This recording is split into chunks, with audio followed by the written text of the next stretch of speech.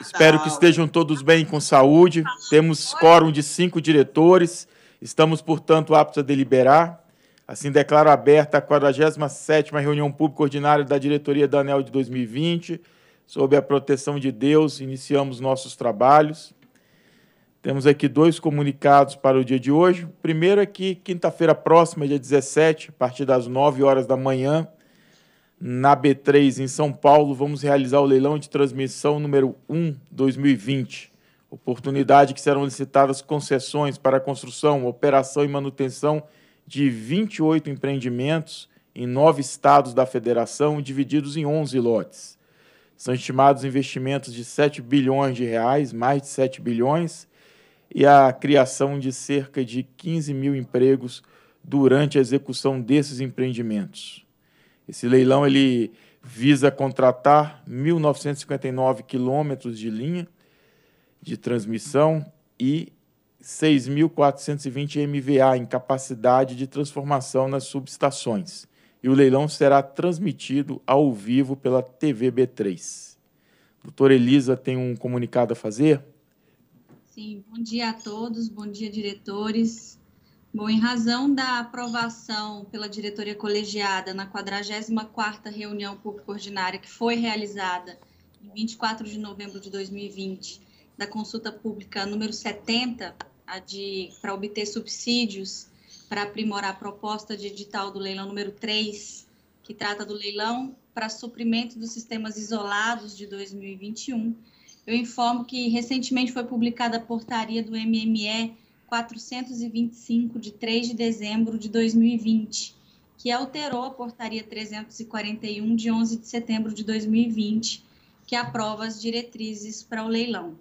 Então, dessa maneira, eu informo que as alterações realizadas pela Portaria é, 425 são a data de realização do leilão, que passou de março de, 20, de 2021 para abril de 2021, o prazo para protocolar na EPE a empresa de pesquisa energética, dos pedidos de cadastramento das soluções de suprimento passou de 4 de dezembro de 2020 para 15 de janeiro de 2021, até às 12 horas.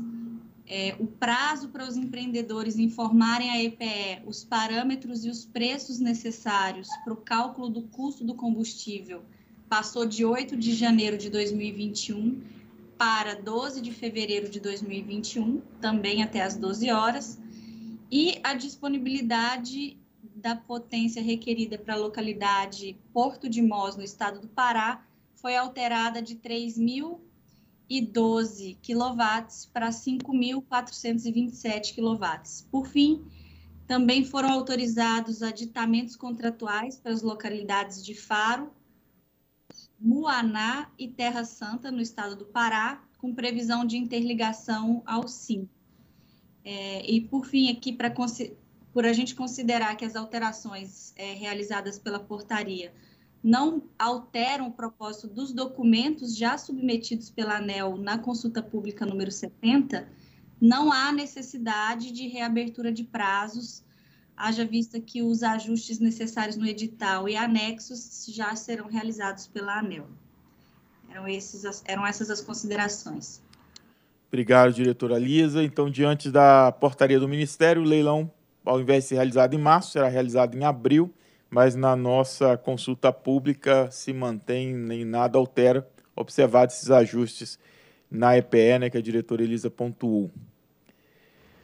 Bom, feitos os informes do dia de hoje, submeteu aos senhores diretores a ata, a aprovação da ata da 13ª reunião pública extraordinária de 2020, que foi realizada na última quarta-feira, dia 9 de dezembro. Então, em votação, a ata da 13ª RPE. Eu aprovo a ata. Está sem som, Elisa. Também aprovo a ata. Senhores diretores, eu também aprovo a ata. Eu também aprovo a ata. Também aprova a ata, em todos concordando, declara aprovada a ata da 13ª reunião pública extraordinária de 2020 da ANEL. Submeto agora aos senhores diretores a aprovação da ata da 46ª reunião pública ordinária da diretoria de 2020, que foi de terça-feira passada. Então, em votação a ata da, da RPO passada. Eu aprovo a ata. Está sem som, Elisa. Também aprova a ata. Também aprova a ata, senhores diretores. Também aprovo a ata. Em todos concordando, também aprova a ata e assim declaro aprovada a ata da 46ª reunião pública ordinária da diretoria 2020. Solicito ao secretário-geral que apresente os pedidos de preferências, de sustentação oral e, e a ordem de julgamento definida para o dia de hoje. Então, é, bom dia a todos. A pauta dessa 47ª reunião pública ordinária foi publicada na última quinta-feira, com 54 itens, sendo que os itens 20 a 54 correspondem a itens de bloco. Para esses itens, os atos e votos foram disponibilizados previamente na internet no momento da disponibilização da pauta. Foi retirado da, da, da pauta o item 11 e há pedido de destaque para os itens 27 e 29. Além disso, há pedido de sustentação oral para os itens 1, 2, 10, 12, 15, 17, 27 e 29. tá? De forma que eh, a deliberação estabelecida pela presidência dessa reunião iniciará a deliberação pelo bloco, a seguida do item 2, item 1, 3, 4, 5, 6, 7, 8, 9, 10, 12, 13, 14, 15, 16, 17, 18, 19, 27 e 29. Obrigado, secretário. Então, os itens 27 e 29 foram destacados do bloco para a pauta comum. Assim, eu submeto aos senhores diretores os itens do bloco da 47ª reunião pública para julgamento. Então, em votação, o bloco. Eu aprovo os itens do bloco. Também aprovo o bloco. Também aprova os itens de bloco, senhores diretores. Eu também aprovo os itens do bloco. Também aprovo o bloco e assim proclamo que a diretoria da ANEL decidiu, por unanimidade, pela aprovação do bloco da 47ª reunião pública ordinária da diretoria da ANEL de 2020. Solicito agora ao secretário-geral que chame o primeiro processo da ordem do dia para julgamento. Então, item 2, processo 48500 00 47 46 2020 30. Resultado da consulta pública número 57 2020, instituída com vistas a colher subsídios para aprimoramento da revisão do preço médio da energia hidráulica, PMEH, e da tarifa atualizada de referência, a TAR, com vigência a partir de 1º de janeiro de 2021. Diretora relatora, Elisa Bastos Silva, e pedido de sustentação oral. Bom dia a todos. A Lei 7.990, de 28 de dezembro de 1989, em seu artigo 1, estabeleceu a compensação financeira aos estados, Distrito Federal e municípios pelo aproveitamento de seus recursos hídricos para fins de geração de energia elétrica. Posteriormente, o Decreto 2.335, de 6 de outubro de 1997, estabeleceu a competência da ANEL para a definição dos valores referentes à compensação financeira pela exploração dos recursos hídricos para geração de energia elétrica. Em sequência, a Lei 9.648, de 27 de maio de 1998, em seu artigo 17, definiu a alíquota sobre o valor da energia produzida para o cálculo da compensação financeira pela utilização de recursos hídricos. O, de, o decreto 3.739, de 31 de janeiro de 2021, por sua vez, disciplinou as leis supramencionadas e criou a tarifa atualizada de referência TAR, obtida com base nos preços de venda de energia destinada ao suprimento das distribuidoras de energia elétrica, excluindo-se os, os encargos setoriais vinculados à atividade de geração, os tributos e empréstimos compulsórios, bem como os custos incorridos na transmissão de energia elétrica. A regulamentação do Decreto 3.739 de 2001 foi realizada mediante a Resolução Normativa 66, de 22 de fevereiro de 2001, que estabeleceu as diretrizes e procedimentos para fixação da TAR, utilizada no cálculo da compensação financeira, doravante compensação financeira pela utilização dos recursos hídricos, CEFUR, e definiu a previsão da revisão da TAR a cada quatro anos, com reajustes anuais entre os períodos.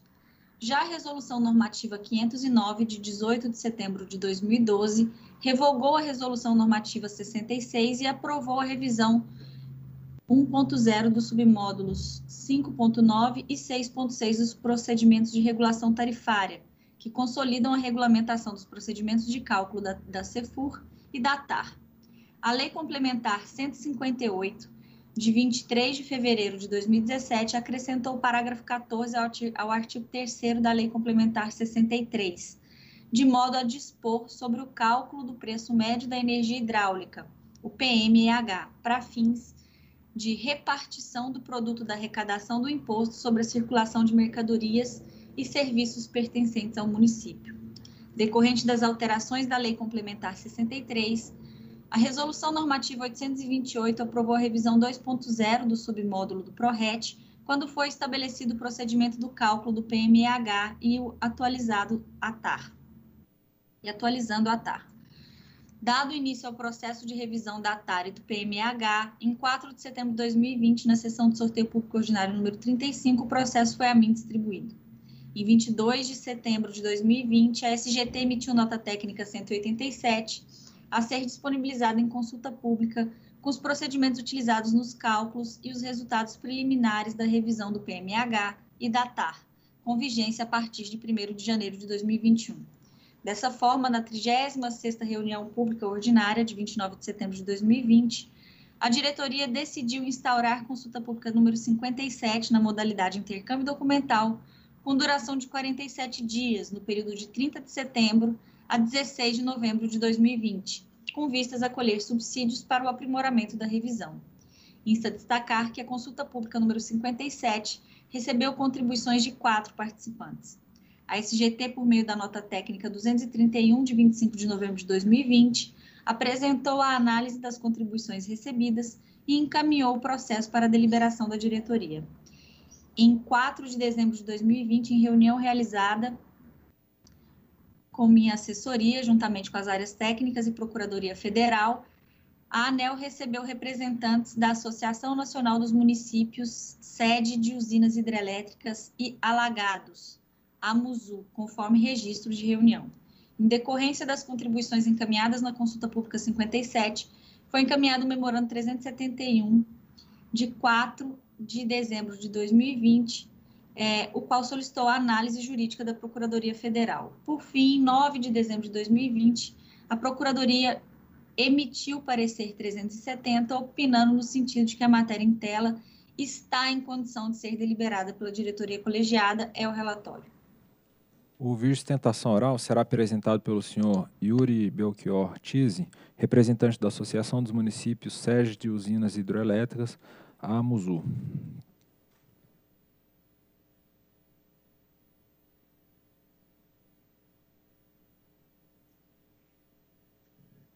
Bom dia, senhores diretores. É, venho aqui fazer a sustentação oral da contribuição para a consulta pública 57-2020, que trata da revisão do preço médio da energia hidráulica PME e da tarifa atualizada de referência TAR, em favor dos interesses da Associação de Municípios, AMUSO. O marco legal e constitucional, né, constitucional e legal, é, da contribuição financeira pelos usos dos recursos hídricos, a CEFUR, está aí bem disciplinado no artigo 20, parágrafo 1 que é a participação nos resultados da exploração de recursos hídricos para fim de geração de energia elétrica, tem natureza indenizatória, compensativa, né, para compensar é, a utilização desses recursos que poderiam ser utilizados em outras atividades. Então, o município, por isso mesmo, tem essa, é, essa natureza indenizatória é, decorrente de amparo constitucional, que difere um pouco dos royalties. Né? Tem a lei 7990 de 89, que regulamenta a CEFUR, Antigamente delegava ao DENAI, justamente quando não existia ANEL.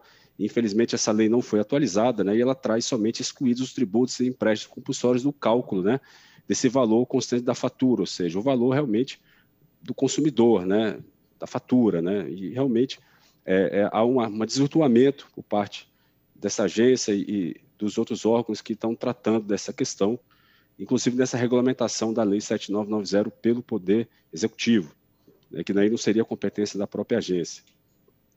O decreto 3739-2001, justamente, ele inclui, além do que está previsto na lei, encargos setoriais vinculados à atividade de geração e custos incorridos na transmissão de energia elétrica, ou seja, há um excesso do poder regulamentar, como eu vou mostrar para vocês adiante.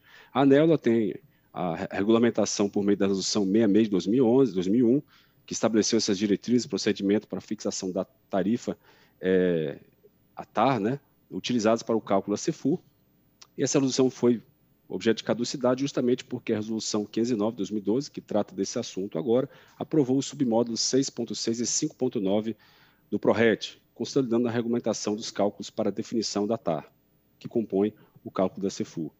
E temos aí, é, no cálculo do CMS, a Lei Complementar 63 de 90, ela trata especificamente, como os senhores estão vendo, do ICMS, mas o PMEH tem base justamente nesse parágrafo 14 do artigo 3 da LC 63, acrescentada pela 158 de 2017. Como nós vimos, ela se refere ao parágrafo 14, ao inciso 1 do parágrafo 1. O que está dizendo o inciso 1 do parágrafo 1? Valor de mercadoria saída e entrada. Não tem nada a ver com energia elétrica, né?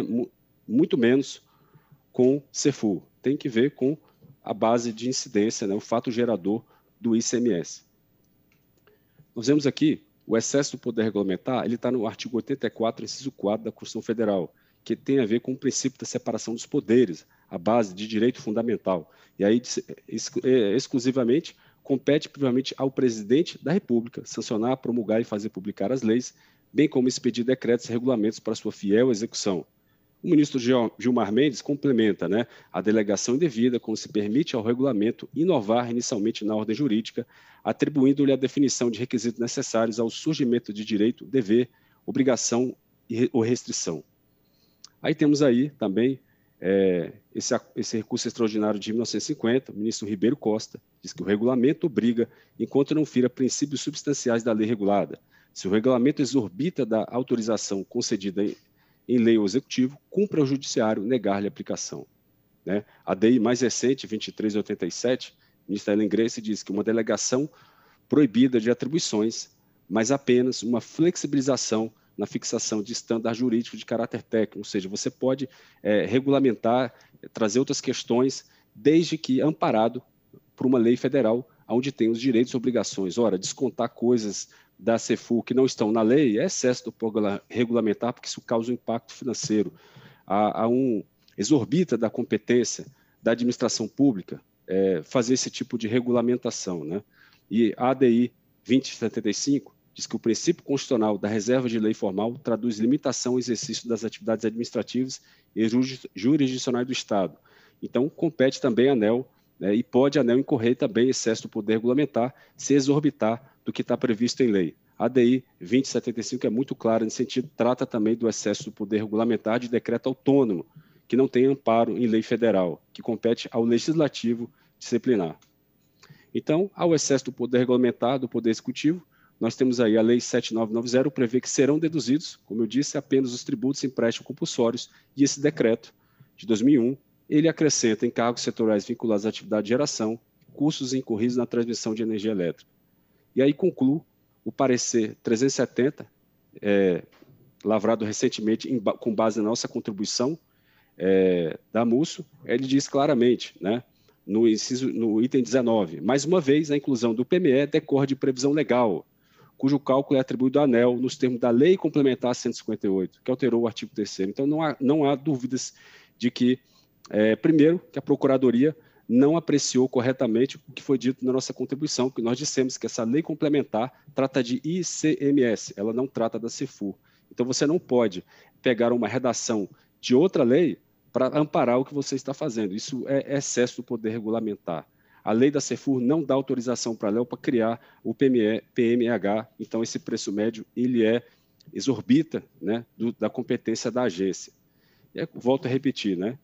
Está muito claro aí como já mostrei aos senhores diretores, que não há amparo legal. Né? Essa, essa lei complementar trata exclusivamente do ICMS. E temos aí também esse, excesso do poder regulamentar da ANEL, muito claro, né? que é justamente introduzir o PMEH, né? que é obtido com base nos custos incorridos pelas concessionárias de distribuição na aquisição de energia elétrica de fontes hidráulicas, descontados os valores referentes à ITIBU nacional, que violaria a Lei 7990 de 89, que configura regulamento autônomo. Né? porque a LC 63 aplica apenas a ICMS. E o parecer 360 não analisou a questão de que não poderia amparar a PMH com base nessa lei complementar que trata do ICMS. Então, é, nós agradecemos aqui imensamente, colocamos à disposição, esperamos que essa diretoria possa é, rever essa questão para não incorrer em ilegalidade. Muito obrigado. Agradeço o Yuri pela sustentação oral que promoveu, representando nessa oportunidade a Associação de Municípios, e passo a palavra à Procuradoria.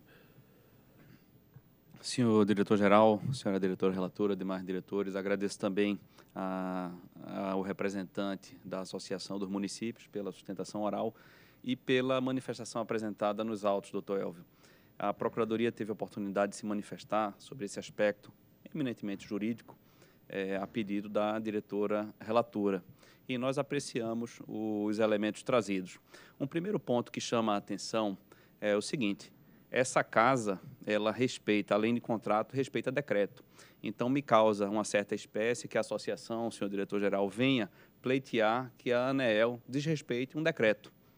E aqui não há qualquer dúvida quanto à interpretação do decreto. Qualquer dúvida é indisputável a forma de cálculo da TAR, de acordo com a disposição do decreto.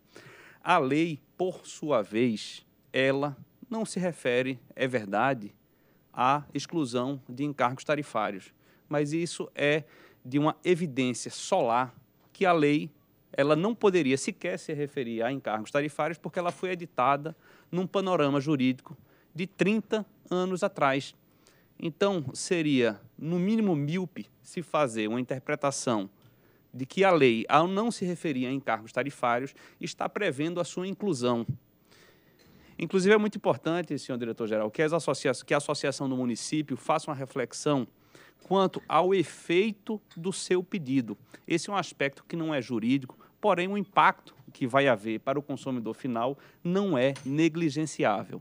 Por fim, essa é uma questão que deve ser tratada no âmbito do formulador da política. E essa casa não formula política, essa casa cumpre política. E a política está muito bem delineada no decreto de 2001. Muito obrigada pelas manifestações, procurador Luiz Eduardo. Bom, aqui trata-se do resultado da consulta pública número 57, instaurada com vistas a colher subsídios para o aprimoramento da revisão da TAR e do PMEH, com vigência a partir de 1 de janeiro de 2021. Pelas razões expostas a seguir, voto por aprovar os valores revisados de R$ 186,88 por megawatt-hora para o preço médio de energia hidráulica e de R$ 76,00 por megawatt-hora para a tarifa atualizada de referência, com vigência a partir de 1 de janeiro de 2021 para um, maior detalhe, um melhor detalhamento da proposta, eu solicitei uma apresentação técnica. Então, solicito à Secretaria-Geral que, por favor, apresente a, a, coloque a apresentação técnica, por gentileza.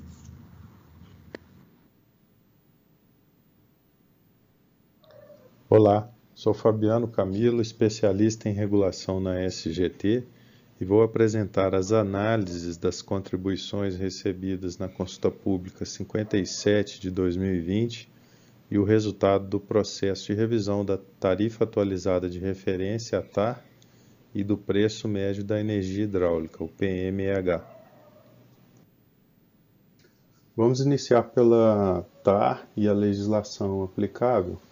A Lei 7990 de 1989 instituiu uma contribuição financeira pelo uso dos recursos hídricos a ser paga pelos geradores de energia e definiu a competência da ANEL para fixar uma tarifa de referência a ser utilizada no cálculo da CEFUR. A Lei 7990 foi regulamentada pelo Decreto 3739 de 2001, que instituiu a TAR e definiu diretrizes para o cálculo a ser realizado pela ANEL. No âmbito da ANEL, a TAR foi regulamentada pelo PRORET 6.6, que definiu reajuste anual para a tarifa e uma revisão a cada quatro anos. o PRORET também detalhou os demais procedimentos para o cálculo das revisões e reajustes. Assim, o valor de CEFUR a ser pago mensalmente pelos geradores é igual à alíquota de 7% definida em lei, vezes a TAR, definida anualmente pela ANEL, vezes a energia gerada, que é mensalmente informada pelos geradores. Para detalhar o procedimento de cálculo da TAR, podemos dividi-lo em duas etapas. Em um primeiro momento, calculamos o preço médio da energia hidráulica excluída a parcela de Itaipu Nacional. Este preço médio corresponde ao custo total da energia dividido pelo respectivo montante. Os custos e montantes de energia hidráulica considerados no cálculo são aqueles utilizados pelas concessionárias de distribuição para atendimento de seu mercado. E cabe destacar que a parcela de Itaipu não compõe a base de cálculo da TAR, já que o gerador binacional contribui com os royalties previstos no Tratado de Itaipu. Na segunda etapa, para alcançarmos o valor da TAR, daquele preço médio que já calculamos no slide anterior, excluímos os encargos setoriais, os tributos, os empréstimos compulsórios e os custos de transmissão, conforme determina o Decreto 3739 de 2001. Agora falaremos um pouco sobre o preço médio da energia hidráulica e seu fundamento legal. Inicialmente, cabe destacar que o PMEH não tem uma aplicação direta no setor elétrico, sendo utilizado pelas fazendas estaduais para a repartição do ICMS com os municípios. Em 1990, a Lei Complementar 63 definiu que 25% do ICMS devem ser creditados pelos estados aos municípios. Desses 25%, 3 quartos seriam creditados com base no valor adicionado pelo município e um quarto de acordo com a lei estadual. Para definir esse valor adicionado pelos municípios, a Lei Complementar 158 de 2017 estabeleceu que o valor da energia proveniente de usina hidrelétrica corresponderá à quantidade de energia produzida multiplicada pelo preço médio da energia hidráulica comprada pelas distribuidoras, conforme calculado pela ANEEL. No âmbito da ANEEL, o PMH também é regulamentado pelo PRORET 6.6, que estabeleceu a revisão anual do valor pelo IPCA e uma revisão a cada quatro anos. O regulamento também definiu demais procedimentos para os processos de revisão e reajuste do PMH.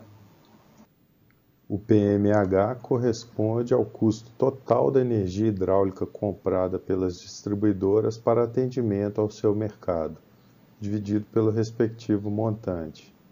Cabe destacar que todos os contratos de energia hidráulica compõem o PMH, inclusive Itaipu Nacional.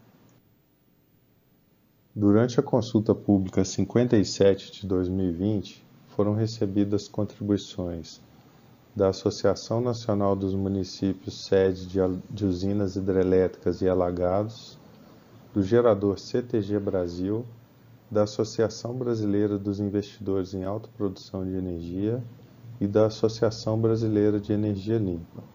Cabe destacar que a contribuição enviada pela Abragel tratava de outra consulta pública e foi desconsiderada para análise. A Musu e CTG Brasil solicitaram atualização do PRORET 5.9, conforme a nova alíquota de 7% introduzida pela Lei 13.360. Essas contribuições foram acatadas pela SGT. A Amusul também apresentou contribuições que questionavam a metodologia de cálculo da TAR a SGT entendeu que não havia possibilidade de acatar tais contribuições, já que a metodologia está aderente com o que determina o Decreto 3739 de 2001. A Procuradoria também analisou as alegações da Amusul e concluiu que não há possibilidade de afastar ou substituir a TAR no cálculo da CEFUR e que não há ilegalidade na metodologia definida pela ANEL no cálculo da TAR. O valor final da TAR, considerando a metodologia vigente, ficou em R$ 76,00, conforme a evolução dos componentes demonstrada nesse gráfico. Destacaram-se para a elevação do valor da TAR os preços dos contratos de energia. Esse efeito se deve, em especial, aos novos valores dos contratos de cotas de garantia física, com reajustes significativos entre as revisões. Para a redução do valor da TAR, destacou-se o impacto dos encargos de transmissão, devido aos efeitos da Portaria número 120 de 2016, além da entrada em operação de novas concessões de transmissão de grande porte. O valor final do PMH ficou em R$ 186,88. No gráfico, podemos destacar os impactos dos contratos de garantia física, com reajustes significativos desde a última revisão, além do efeito do aumento do valor da energia de Itaipu, decorrente da elevação da cotação do dólar utilizado para sua valoração.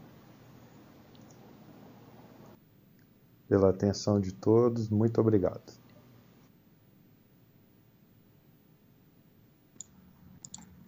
Agradeço a apresentação técnica realizada pelo especialista Fabiano, da SGT.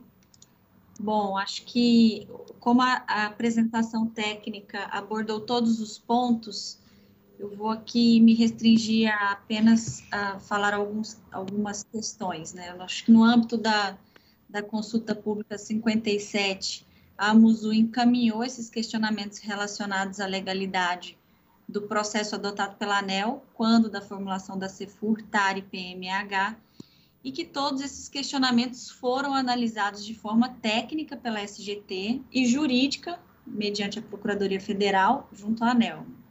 As duas análises, elas concluíram pelo não provimento das contribuições, e esse é um posicionamento que eu acompanho meu voto.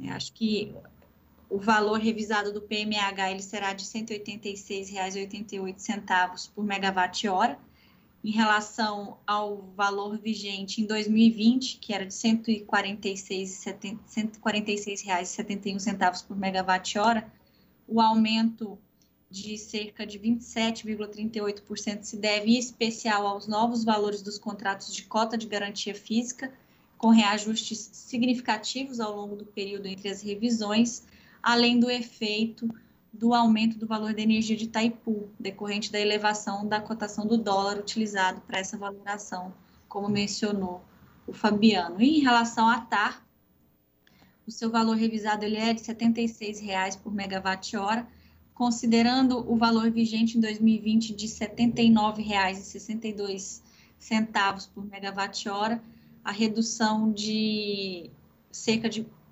teve um aumento de 4,55%, redução de 4,55%. Ela foi decorrente da energia comprada, que teve uma contribuição positiva, e, e os encargos de transmissão EUS teve uma contribuição negativa para esse novo valor da TAR, que saiu de 79 para 76 reais por megawatt-hora. Acho que feitas essas considerações, passou o dispositivo de voto e diante do exposto que consta o processo 48.500.0047.46.2020.30, voto por. Aprovar a emissão de resolução normativa que altera o submódulo 5.9 e 6.6 dos procedimentos de regulação tarifária e aprovar a emissão de resolução homologatória fixando os valores revisados do PMH em R$ 186,88 por megawatt-hora e da tarifa atu atualizada de referência, a TAR, em R$ 76,00 por megawatt-hora, ambos com vigência a partir de janeiro, de 1 de janeiro de 2021 é o voto. Em discussão. Bom, a, o procurador se manifestou muito bem em sua fala e a doutora Elisa em seu voto. Onde acho que está claro aqui que não essa casa não faz juízo de constitucionalidade de ato, nem de decreto, nem de lei. Pelo contrário, a gente cumpre a, a política pública de maneira técnica, buscando o menor custo para o consumidor, o menor custo para a tarifa. Então, se há uma, uma discussão da associação com a legalidade do decreto, que vá buscar essa discussão em outra via, no, no, no judiciário não aqui na agência de regulação. Essa metodologia é praticada é, desde 2001 e é uma metodologia consagrada. E eu acho que vale ressaltar também a preocupação que foi pontuada pela Procuradoria-Geral, no sentido de que, se essa tese é, ganha corpo, há um impacto que é nada desprezível na tarifa de energia. Então, ou seja, todo o trabalho que estamos realizando aqui desde o final de 2018 de desoneração tarifária, que repercutiu os resultados efetivos em 2019, quando saímos de um ano de 2018 com a média de aumento tarifário no país de 15% para uma média de aumento tarifário em 2019 inferior a 3%.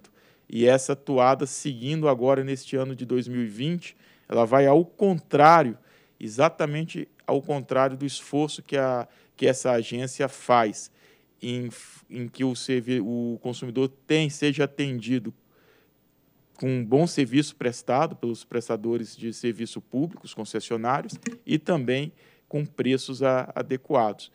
Então, assim, superado isso, no mais, é o, o que a doutora Elisa é, traz em seu voto, estabelecendo o preço médio da energia hidráulica, onde nós conforme anunciado pela relatora, passou dos R$ 187,05 do cálculo preliminar para os R$ 186,88 no cálculo atualizado, pelos motivos é, expressos em seu voto. E o valor da TAR, que também passa de R$ 75,90, que foi apresentado para abertura da consulta pública, foi atualizado, então, para os R$ 76,00, um pequeno ajuste é, no cálculo final.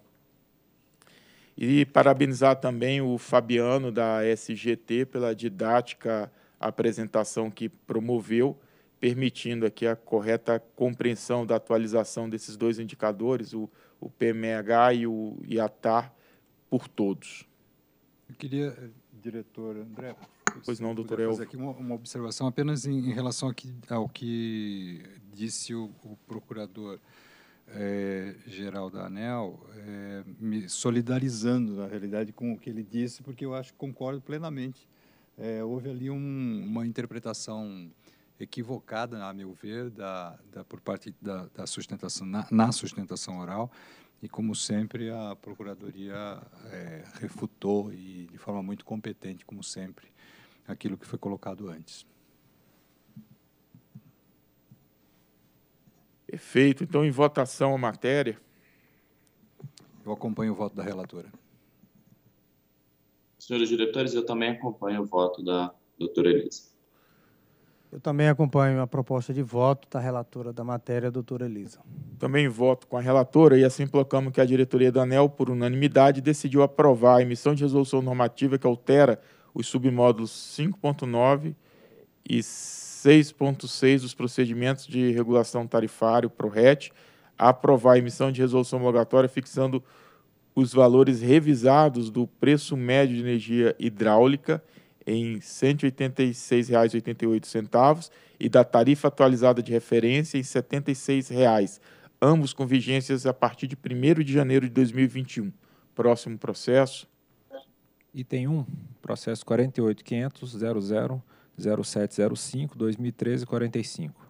Requerimento administrativo interposto pela Enercasa Energia Caiuá S.A. com vistas à retomada da operação comercial da usina termoelétrica, o TE, é, de casa e consequente pagamento da receita no âmbito do contrato de energia de reserva, o SER, número 23 2008. Diretora relatora Elisa Bastos Silva, diretor relator do voto vista, Sandoval de Araújo Feitosa Neto, e há uma sustentação oral.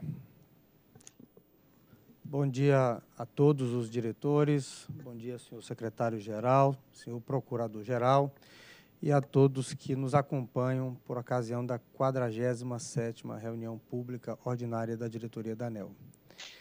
Por ocasião da 26ª reunião pública ordinária desta diretoria, que ocorrera em 21 de julho de 20, usando da faculdade prevista no artigo 24 da norma de organização 18, com revisão aprovada pela resolução normativa 698 de 15, solicitei vistas ao referido processo como forma de melhor examinar as questões atinentes ao requerimento administrativo interposto pela Energia Caiuá SA, daqui em diante denominada Enercasa, com vistas à retomada da operação comercial da usina UTE Decasa e consequente pagamento da receita decorrente do contrato de energia de reserva, o CER 23 de 2008. Adoto como relatório o constante no voto proferido pela ilustre diretora Elisa Bastos Silvas na reunião em questão, como também as informações a seguir.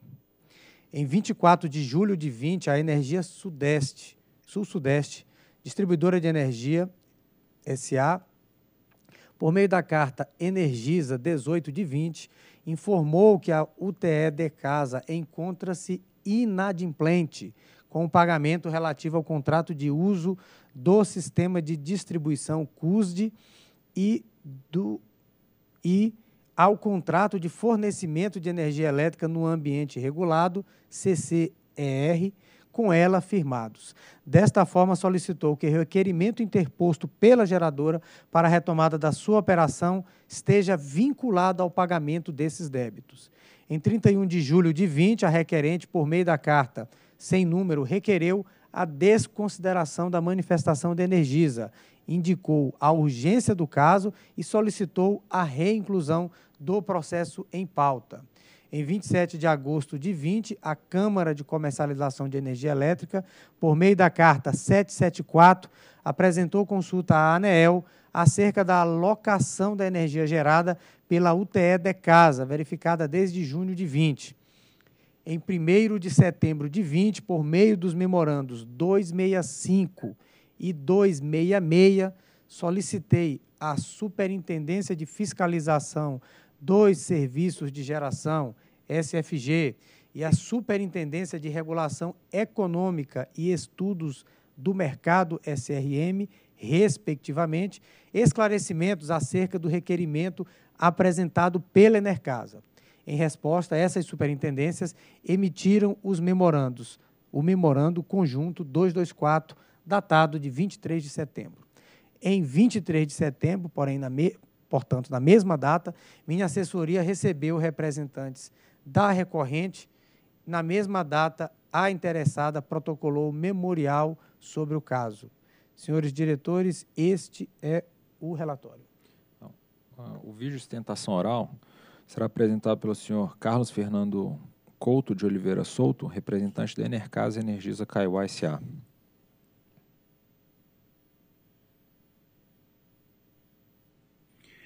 Excelentíssimos senhores diretores da ANEL, excelentíssimo senhor relator eh, do processo da UTE de Casa, meu nome é Carlos Souto, sou procurador da, da UTE de Casa, da Enercasa, neste processo, e o nosso pleito em análise é para a retomada do CER, do contrato de geração de energia eh, dessa empresa, que foi suspenso há alguns anos por conta da insuficiência do fornecimento de combustível para que o processo de geração fosse possível. Na época, essa agência decidiu que a retomada do contrato só poderia se dar através da demonstração, palavras minhas, da estabilidade no fornecimento do combustível vapor que permitisse a garantia de que a energia seria eh, regularmente gerada. Nos últimos meses, depois de um processo bastante demorado de recuperação judicial uh, falência e negociação dos ativos da empresa Paudalho, empresa produtora de álcool e açúcar responsável pelo fornecimento de vapor para a Enercasa, uh, conseguiu-se agora, depois da negociação dos ativos, acompanhada por nós, em que terceiros vieram adquirir os ativos da, da empresa Paudalho no intento de retomar as atividades econômicas dessa empresa, foi demonstrado nos autos desse processo que o fornecimento do combustível de forma estável está assegurado e garantido. Dessa forma, o pleito apresentado a essa diretoria, dando obediência à decisão administrativa anterior, é exatamente para a retomada, então, uh, do processo de geração pela Enercasa, retomando-se vigência o SER celebrado uh, com essa empresa, atendendo-se assim uh, aquelas pendências que haviam sido indicadas e apontadas pela ANEL. Esse é um pleito de urgência, porque os investimentos para a retomada da geração estão sendo feitos, a condição de estabilidade na garantia do fornecimento uh, do combustível está garantida também, na medida que os novos proprietários da antiga Paudalho são importantes uh, plantadores de cana e industriais da região e dessa forma eh, pode-se melhor aproveitar o investimento já realizado e pago de 100 milhões de reais na construção desta usina eh, de geração de energia térmica. Esse, então, é o pleito apresentado a essa ilustre diretoria por esses procuradores, ou por este procurador, eh, na expectativa de uma célere decisão para a retomada da geração, que é, ao cabo, não só importante para essa agência, como para os agentes diretamente envolvidos, mas para todo o nosso país. Certos da compreensão e da concessão a esse pedido, agradeço pela atenção.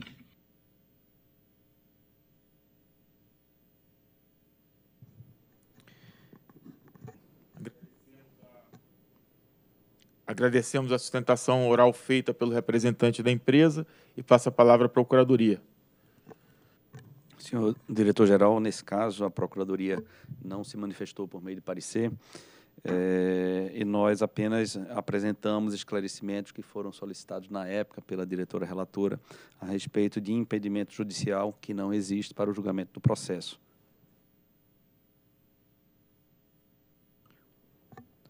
Eu também agradeço a manifestação do Dr. Carlos Souto, procurador da Enercasa, e também a manifestação do Dr. Luiz Eduardo, procurador-geral desta agência. Senhores diretores, trata-se do requerimento administrativo interposto pela Enercasa com vistas à retomada da operação comercial da usina termoelétrica, o TE de Casa, e o consequente pagamento da receita decorrente do contrato de energia de reserva 23 de 2008. A motivação para o pedido de vistas consistiu na necessidade do aprofundamento acerca da repercussão que esta autorização, qual seja a retomada da operação comercial da usina, provocaria no setor elétrico brasileiro, tendo em vista o histórico de inadimplência da presente eh, usina presente outorga associada. Após, após análise a seguir detalhada, acompanho proposta de voto no sentido de aprovar a retomada da operação comercial da usina termoelétrica UTE de Casa e o consequente pagamento da receita decorrente do contrato de energia de reserva associado. E, adicionalmente, determinar a CCE que até que seja atribuída a garantia física original da UTE, toda a energia gerada pela usina em cada período correspondente ao ano de suprimento, referente ao contrato de referência, seja destinada a este contrato, até que seja alcançado o montante contratado definido na subcláusula 6.1 descrita a seguir do CE, e aqui eu deixo registrado no voto para pronta referência. A UTE de Casa comercializou energia no primeiro leilão de energia de reserva de 2008 e iniciou o suprimento em janeiro de 2010. Entretanto, em decorrência de dificuldades enfrentadas no suprimento do combustível da usina, a, UTE, a geradora apresentou à ANEEL requerimento de reconhecimento de excludente de responsabilidade pelo não atendimento do referido contrato. O SER 23 de 2008 possui vigência até dezembro de 2024. Exatamente ainda possui três, quatro anos de, de, de, de vigência o presente contrato. E assegura a regular cobrança de penalidade por insuficiência de lastro e o ressarcimento na hipótese de rescisão contratual. Estima-se que a receita anual da usina se encontra em torno de 40 milhões de reais. O referido requerimento foi julgado e indeferido por esta agência, conforme disposto no despacho 1717 de 2014. Isto é, a ANEEL não identificou evento que caracterizasse excludente de responsabilidade relacionado ao não atendimento do contrato firmado pela Enercasa. A conclusão da agência naquela oportunidade foi de que os fatos apresentados, quais sejam dificuldades de obtenção, obtenção do combustível, não se caracterizariam como caso fortuito ou de força maior, pois eram, em grande medida, previsíveis e mitigáveis. O despacho 1717 de 14, além de julgar o pedido de excludente de responsabilidades, estabeleceu a suspensão de forma retroativa a fevereiro de 13, competência janeiro daquele ano, dos pagamentos da, da parcela relativa à receita fixa da usina, até que fosse comprovado por instrumento hábil e idôneo a disponibilidade de combustível para a geração da UTE em atendimento ao contrato.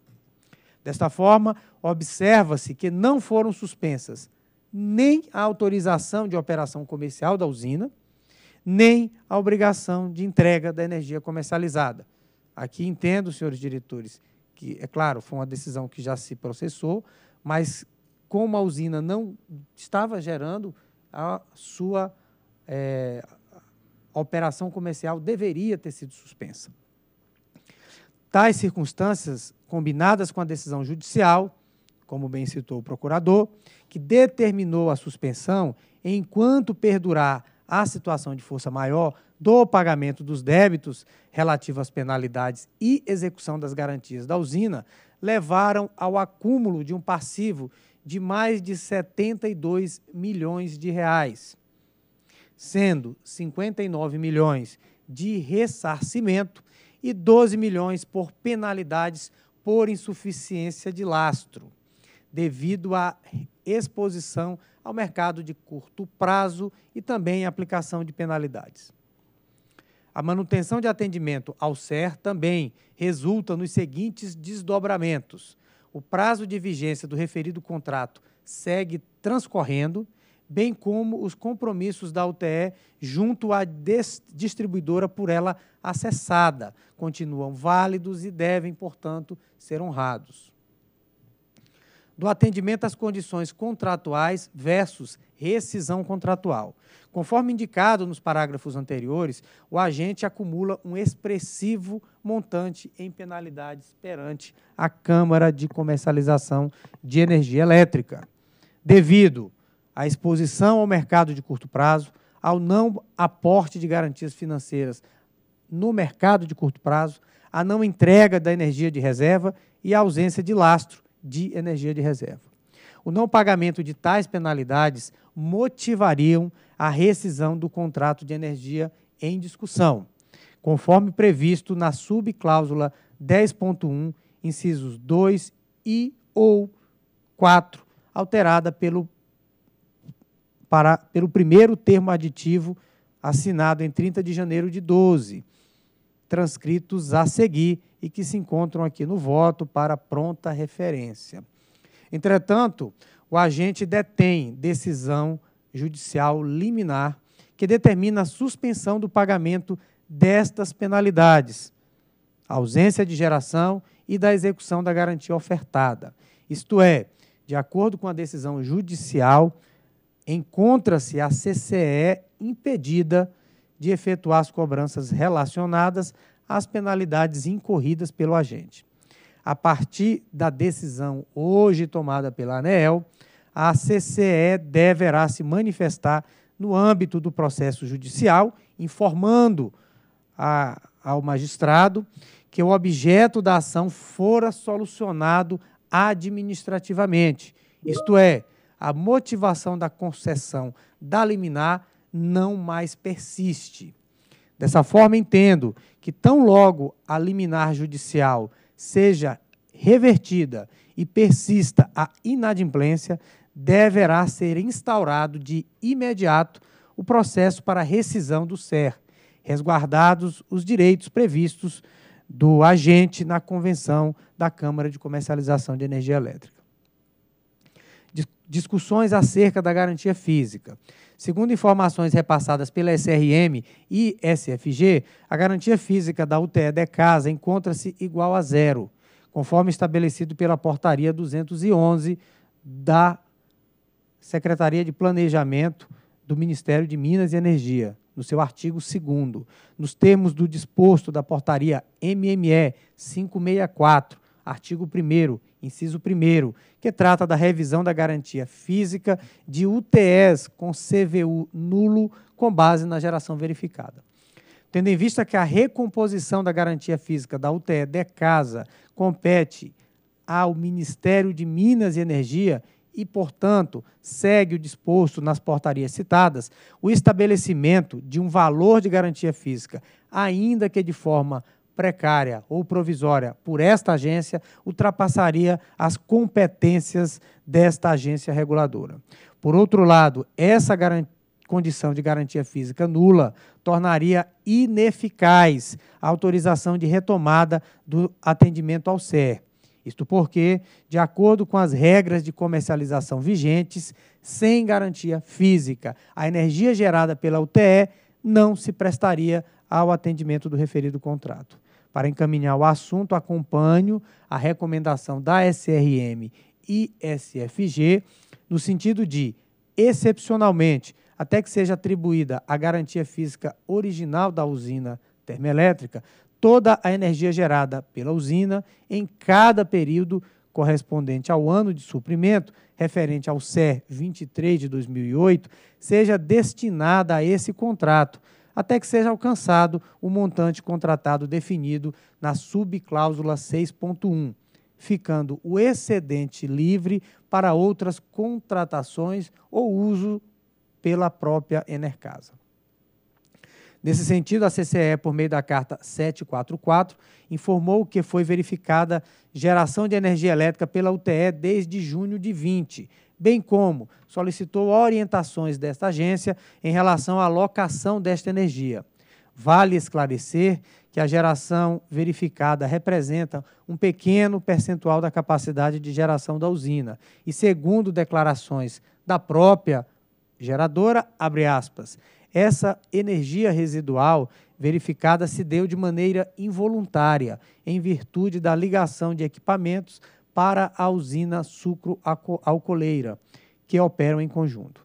Entendo, fecha aspas, entendo que a geração verificada nos meses deve, assim como a geração verificada a partir da retomada do SER, ser alocada para atendimento ao SER assinado pela empresa.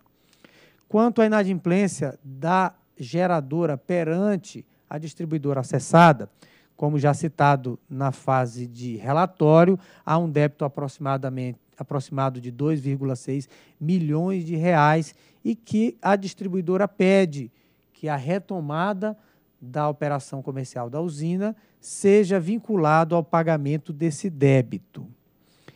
Entendo que torna-se imperativo esclarecer que a decisão constante deste processo não se enquadra nos precedentes citados pela distribuidora para justificar tal vinculação, uma vez que se trata de retomada ao atendimento ao contrato firmado no ambiente de contratação regulado e não da autorização de operação comercial, tampouco concessão de outorga.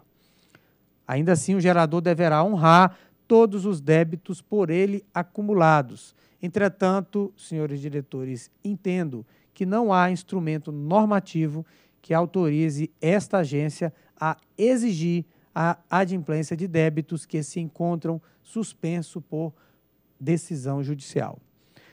Das considerações finais, entendo que os esclarecimentos apresentados neste voto vista são imprescindíveis para que não pairem dúvidas quanto ao contexto em que se insere o requerimento ora analisado.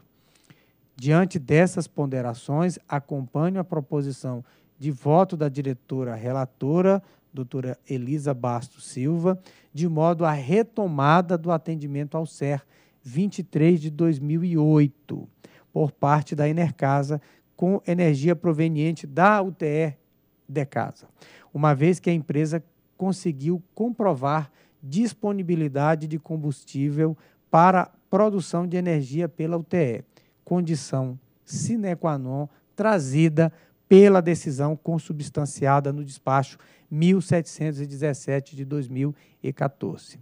Entretanto, proponho adicionalmente para a discussão deste colegiado a inclusão de determinação à Câmara de Comercialização de Energia Elétrica para que, enquanto a garantia física da UTE de casa permanecer igual a zero, toda a energia gerada pela usina seja alocada para o atendimento ao SER, até que seja alcançado o montante contratado definido na subcláusula 6.1, ficando o excedente livre para contratações ou usos diversos pela Enercasa. Diante do exposto e do que consta do processo 48.500, voto por, primeiro, acompanhar a proposta de voto da diretora Elisa Bastos Silva, referente à retomada da operação da usina em cumprimento ao CER 2023 de 2028 e, adicionalmente, determinar a Câmara de Comercialização de Energia, de Energia Elétrica que, até que seja atribuída a garantia física original da UTE, como já dito, ato privativo do Ministério de Minas e Energia, toda a energia gerada pela usina em cada período correspondente ao ano de suprimento, referente ao CER 23 de 2008, seja destinada a esse contrato, até que seja alcançado o montante contratado definido na subcláusula 6.1, ficando o excedente livre para outras contratações ou usos diversos pela requerente. Senhores diretores, este é o voto. Bom, antes de abrir aqui para a discussão, só lembrando que nesse processo o diretor Júlio voltou, acompanhou a relatora. Então o doutor Elvio está impedido de é, votar nesse processo. A gente está com o voto do então diretor Júlio. Então, feito esse esclarecimento, que me trouxe aqui a Secretaria-Geral em, é, em discussão. Bom, diretor André, gostaria aqui de parabenizar o voto é, do diretor Sandoval. Acho que no mérito temos é, total concordância, né? E no seu minucioso exame da matéria, o diretor Sandoval identificou um ponto que foi muito relevante. Ele identificou que o fato da garantia física da usina estar zerada haveria uma questão é, operacional junto à CCE, é, de porque a CCE não, não conseguiria alocar essa energia ao contrato, sendo que a garantia física estaria zerada, né? É uma questão operacional e que, portanto, se faz é, muito oportuno e necessário essa, essa, esse aprimoramento trazido pelo diretor Sandoval então, motivo pelo qual uh, acompanho o voto, já adianto aqui que acompanho o voto do vista do diretor Sandoval. Diretor André, ainda que eu não possa votar, gostaria de fazer, tirar uma dúvida é, em relação a, ao, ao, ao, dispositivo. É, porque, se eu, salvo engano, é uma dúvida realmente, é, nos contratos de energia de reserva, toda a energia gerada ela é contratada, ela é, ela é destinada a, a, a quem contratou. Né? Então, eu, fiquei na dúvida se há a possibilidade de, é, de ter uma parte dessa energia comercializada livremente pela Enercasa. Uma dúvida, tá? Bom, mostro aqui. Acho que, salvo engano, toda a energia o que você reserva... coloca, doutor Elver, é que no contrato de energia de reserva, toda energia é para aquele contrato. Exatamente. Aí você tem uma distinção de preço, né? Você tem um contratado, se tiver um excedente, até um percentual, ele, ele é valorado por um preço menor, mas que toda energia tem que estar no contrato de energia de reserva. E salvo, salvo ter havido alguma alteração nos contratos recentemente, é. não haveria possibilidade de comercialização desse excedente. E não teve, pelo conhecimento que eu tenho, senhores diretores. Bem, doutor Elvio, o senhor traz uma, uma ponderação relevante e importante, no caso, como eu citei, essa essa contribuição específica ela veio é, redacionada pela área técnica. Então, eu, eu não tenho aqui a contextualização regulatória da matéria. É, eu vou pedir aqui, é, senhor diretor-geral, até para que a gente esclareça, porque esse é um ponto relevante, haja vista que está formalmente indicado no, no dispositivo do voto, que eu verifique se o contrato, este contrato em específico, ele tem essa disposição para que, a, que eu submeta novamente aqui o processo com esse esclarecimento. Mas aí, considerando que esse processo ele já, já trouxe a julgamento, eu não gostaria de retirar de pauta, eu gostaria apenas de suspender a deliberação, senhor diretor-geral, para que eu esclareça esse ponto muito relevante trazido pelo diretor Elvio. Esse Obrigado. ponto do Elvio é importante, é, mas como bem colocou o Sandoval, é, é, essa determinação veio tanto da CCE como da, das áreas técnicas. Nesse edital exclusivo dela, tem esse permissivo. É, Acho que foi depois da, do leilão dela que houve a, a exclusividade da, do contrato do CERT. E aí eu me lembro bem, né, que até 100% é o valor do leilão aí for até 110 ou 105% e cai um, um, pouco a remuneração pela energia entregue. Mas você levantou bem, 100% da toda a energia entregue tem que ser do CER. Mas isso me parece que foi uma evolução após esse edital. É, é nesse edital é, é, tem esse permissivo, então ele, ele pode fazer. É, exatamente, é, isso que foi me, me colocado aqui agora pela assessoria, né, que neste contrato não há a vinculação da totalidade da energia comprometida. E aqui na subcláusula 6.1, que eu, eu, eu não fiz a leitura dela, apenas deixei registrado no voto, mas ele coloca aqui os montantes que são é, comprometidos, ou seja, há, no caso de um excesso, é possível a comercialização. E só para complementar aqui também, no primeiro LER não, não existia essa obrigatoriedade de vender 100% da garantia física, né? A UTE ela tem 20 megawatts médios é. e ela vendeu 16 megawatts médios. E a consideração trazida pelo diretor Elvio, ela se refere mais especificamente para eólica e solar do que para biomassa. É.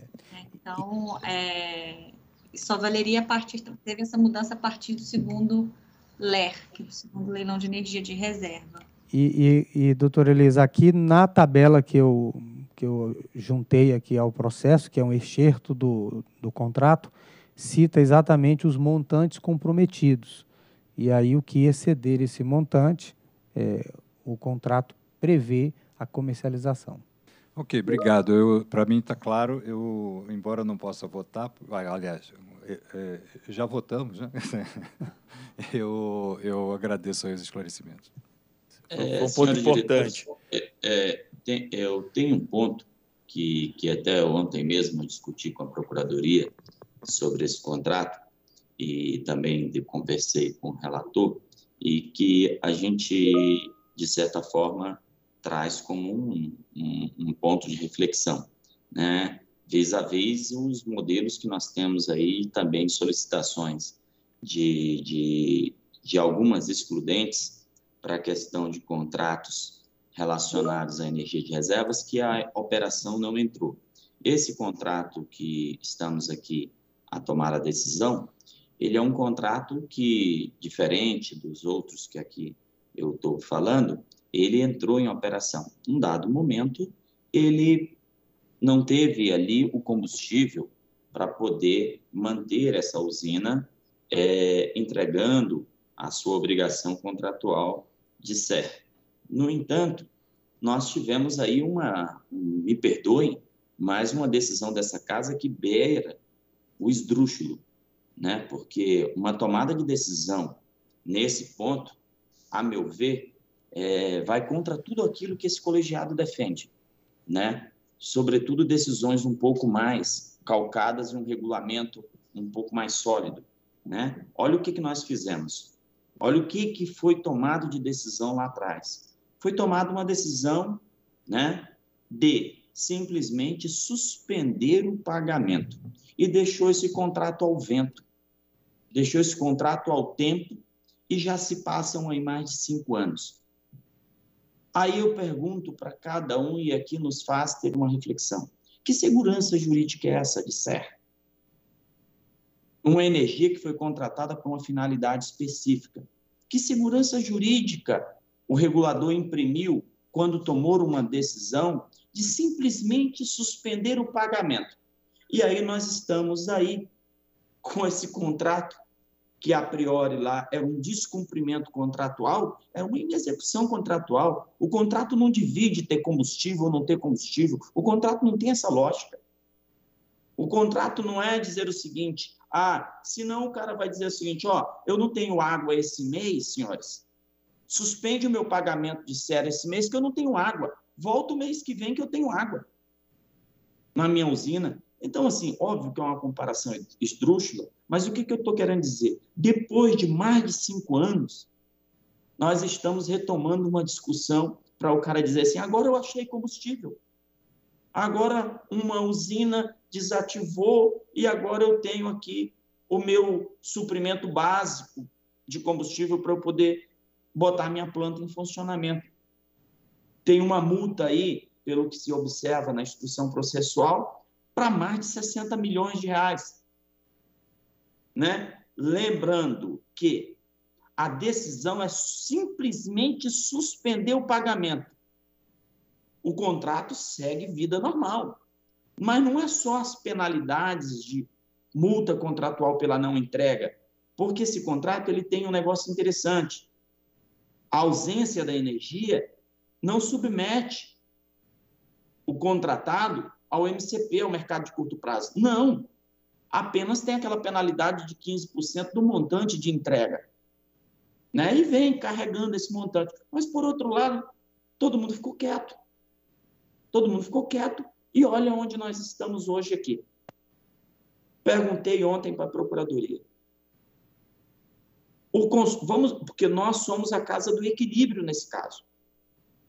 E de um lado tem um consumidor e do outro lado tem esse esse empreendedor. Quando a gente observa o empreendedor cumprindo todos os seus requisitos, e ainda que o contrato esteja com preço estratosférico, o que, que nós sempre falamos? Essa casa respeita contratos e o contrato tem que ir até o final, independente do valor que se vai pagar. Agora, aqui, o empreendedor não cumpriu nada e o consumidor não pode também fazer nada e nós estamos passando a mão na cabeça e entregando. Por quê? Porque simplesmente teve uma decisão que colocou todo mundo numa saia justa.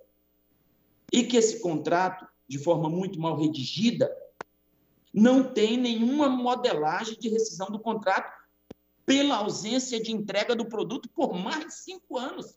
Veja bem, olha que loucura. Alguém não entrega o produto por mais de cinco anos e eu fico aqui esperando de braço cruzado um dia para quando ele achar o combustível me entregar. Que segurança jurídica nós estamos imprimindo nesse caso? Mas por quê? Porque tem uma decisão lá de trás, esdrúxula, mal feita, que aos olhos do regulador eu não consigo encontrar sustentação. Enquanto lá era para se ter feito o quê? Para ter, no mínimo, ter aberto um processo para resolver esse contrato. Não. Aí o agente foi para a justiça, tomou, ganhou uma liminar na justiça, naturalmente fácil de obter, porque ele chegou lá para a justiça e falou: Excelência, a ANEL suspendeu o meu pagamento. Se ela suspendeu o meu pagamento, como é que eu vou pagar a penalidade? Aí o juiz vai e coloca o seguinte: a liminar é suspendo o pagamento de penalidade até que a ANEL volte a decidir se porventura ele vai ter algum tipo de receita. Aí agora a gente remete lá para a CCE, para a CCE a, comunicar o juízo, que já retomou para tentar cobrar penalidade. Mas vejam bem, olha o tempo que se passou. Então, esse é o ponto de reflexão, e hoje o consumidor está contratando para a SER uma energia de quase 300 reais. Enquanto que essas mesmas fontes pidam hoje a valores e não vou, não vou nem usar essa fonte. Vamos falar em, em solar e eólica que está bidando aí a 130, 140 reais e com cláusulas bem piores. Porque aqui a gente está falando de certo, sem nenhum tipo de obrigação conforme os ambientes de CCAR. Então, senhores, é só esse ponto de reflexão, Sandoval, doutor Sandoval e senhores diretores, e, e eu só gostaria de ter certeza de que esse leilão tem esse permissivo de, contratar, de comercializar o excedente, né? Porque se, se, se a gente tiver afirmando que tem e é verdade, o que, que vai acontecer? De novo, olha a trava que esse colegiado está. Uma decisão esdrúxula do passado, um contrato mal redigido e um leilão também com um permissivo que, graças a Deus, se aprimorou e é o que o doutor Elvio acaba de colocar. A energia, devido a todas essas facilidades que é o contrato de leilão de reserva, ela tem que ser direcionada sim, porque o que viabiliza a usina é o leilão de reserva. Então, a energia deveria ter sido toda alocada no contrato de energia de reserva. Mas, enfim, senhores diretores, são só essas reflexões que eu gostaria de fazer. E, e doutor Sandoval, se a sua assessoria confirmou realmente que esse leilão ele dá esse permissivo de comercialização, se as áreas técnicas já responderam. Se sim, não vejo outra alternativa a não seguirmos aí para a tomada de decisão, senhores diretores. Bem, doutor Efraim, só rapidamente aqui fazer uma contextualização. É, essa decisão que se processou lá no passado, ela é, vamos dizer assim, juridicamente ou regulatoriamente, ela já se processou. Não, não verificaria nenhuma possibilidade que ainda também, ainda que comungo, comungo com todas as percepções e conclusões que, que Vossa Senhoria trouxe a respeito deste contrato, dessa decisão, mas nesse momento agora, e aí exatamente em respeito à, à segurança regulatória, jurídica e contratual, que estou encaminhando o voto nesse sentido. Como eu disse na leitura do voto, do relatório, na etapa do relatório, naquele momento que a decisão se processou, deveríamos ter instaurado um processo, para verificar em que circunstâncias a falta de combustível se processou, em que circunstâncias, é, e, e, aí dar todas as combinações regulatórias a, associadas, suspensão da garantia da operação comercial da usina, ou até mesmo em se concluindo que a responsabilidade era do agente de fato, até ter é, é, cancelado o contrato ou e aplicado todas as penalidades associadas. Mas não foi o que aconteceu. O que acontece agora é que o dono atual, como foi relatado pelo doutor Paulo Souto, ele, esse, desculpe, Carlos Souto, esse, essa usina ela foi negociada a um novo empreendedor lá e existe um contrato. Então, o que a gente espera é que, tão logo essa decisão seja processada, a consultoria jurídica da CCE procure o magistrado, informe que a, a decisão administrativa fora tomada. Nossa procuradoria poderá e com certeza auxiliará no que for possível para que isso ocorra. E tão logo ela volte a operar, a gente consiga que a liminar caia e que essas penalidades elas sejam restituídas à modicidade tarifária. Bem, é, é isso que temos. Estou é, atendo-me estritamente a, a, aos termos da decisão e está confirmado, sim, diretor Efraim, a empresa pode, neste contrato, fazer a comercialização do excedente da, do que fora contratado no contrato de energia de reserva. Doutor Sandoval, eu, eu, eu, concordo literalmente com o que você colocou. É, até na conversa com o doutor Luiz Eduardo ontem, já fez coisa julgada, né? Hoje a gente está apenas dando vazão a uma tomada de decisão que teve lá atrás. Então, concordo literalmente com tudo que você coloca. Eu acho que, e olha que de ontem para cá estudei esse processo para a gente tentar encontrar uma outra solução, mas verdadeiramente é, é a, a, mesma segurança jurídica que a gente quer dos nossos contratos, a gente também tem que imprimir as decisões que essa casa concede.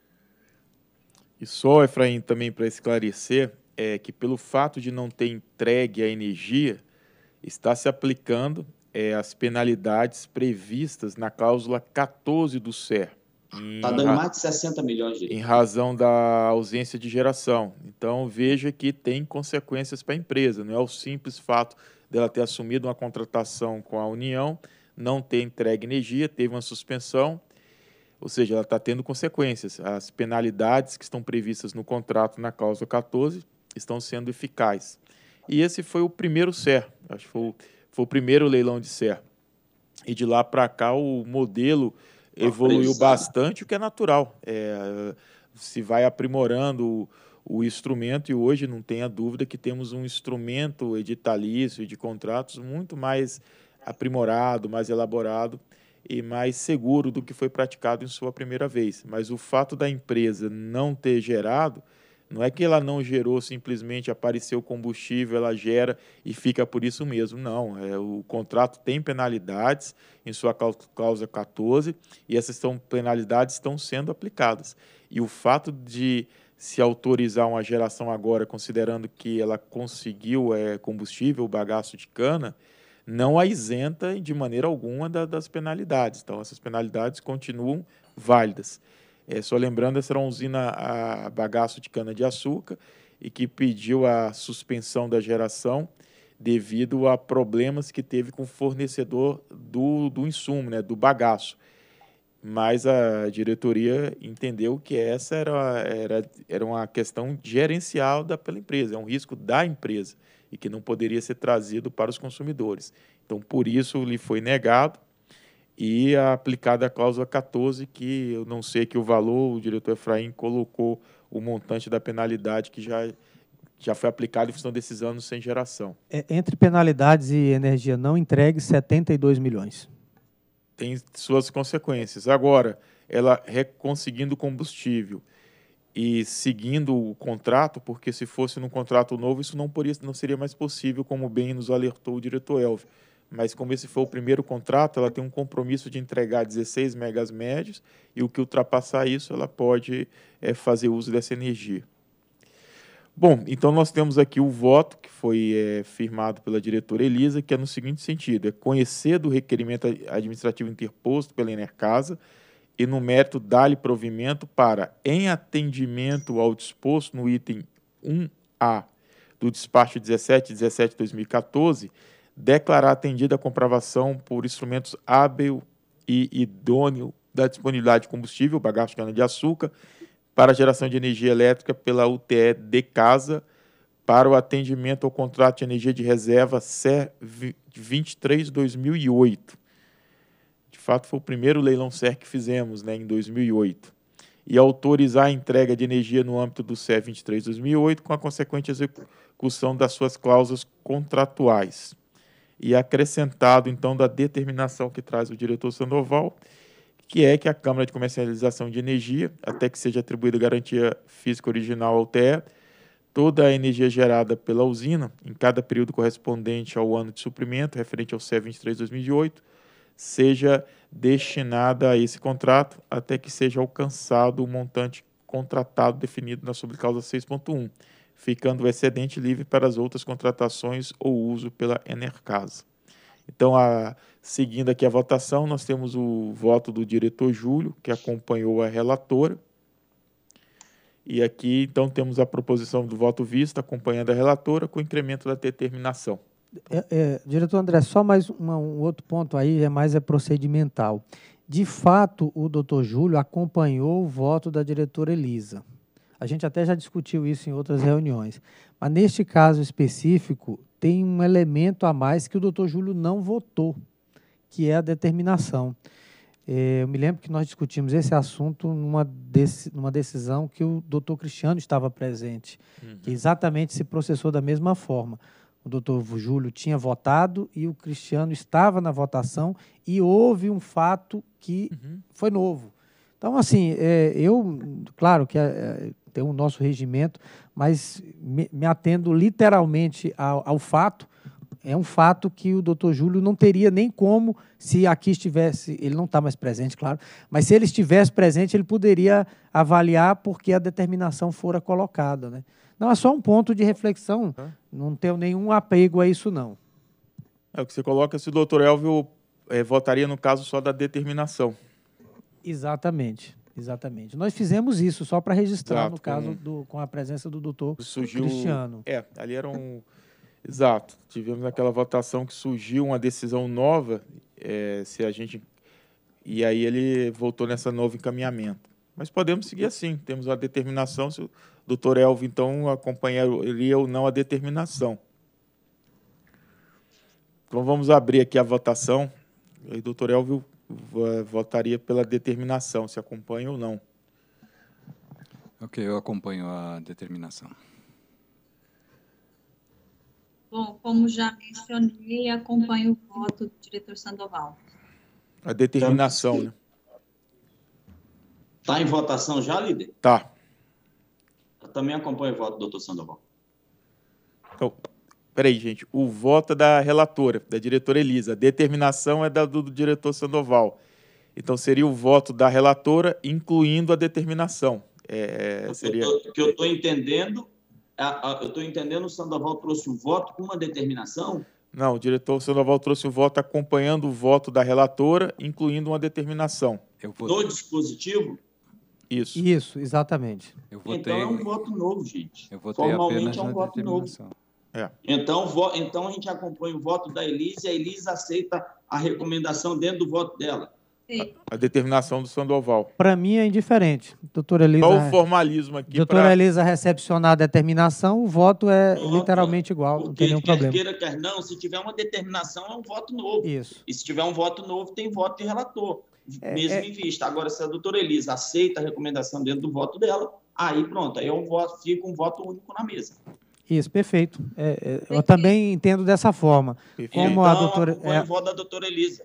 Perfeito. Ok. É então, eu, eu, eu, eu, tenho, que, tenho que, pelo formalismo, tenho que dizer que mantenho o meu voto, recepcionando a determinação do diretor Sandoval. Exato. É, eu só, aí eu tenho uma, uma dúvida, não quero polemizar, obviamente, mas é, eu não posso votar no voto da diretora Elisa. É verdade, André. Não tem jeito. Tem a determinação, que foi como conduzimos aquela sessão com o Cristiano. É. Ou seja, o voto é acompanhar o relator no mérito. Aí tem uma determinação, que a determinação é a operacionalização né, da, do contrato. É, no, no, caso daquele voto lá, é, eu fui voto vencido. E eu é. fiz questão de, de consignar o voto lá, porque, na realidade, o voto, o, como o voto do doutor Júlio era acompanhando a então, decisão ó, né, original. Vamos fazer da seguinte forma, então, já para não ter essa confusão. Vamos encaminhar duas votações aqui. Primeiro é o voto trazido no mérito se, a, se conhece ou não conhece o requerimento administrativo interposto pela Enercasa.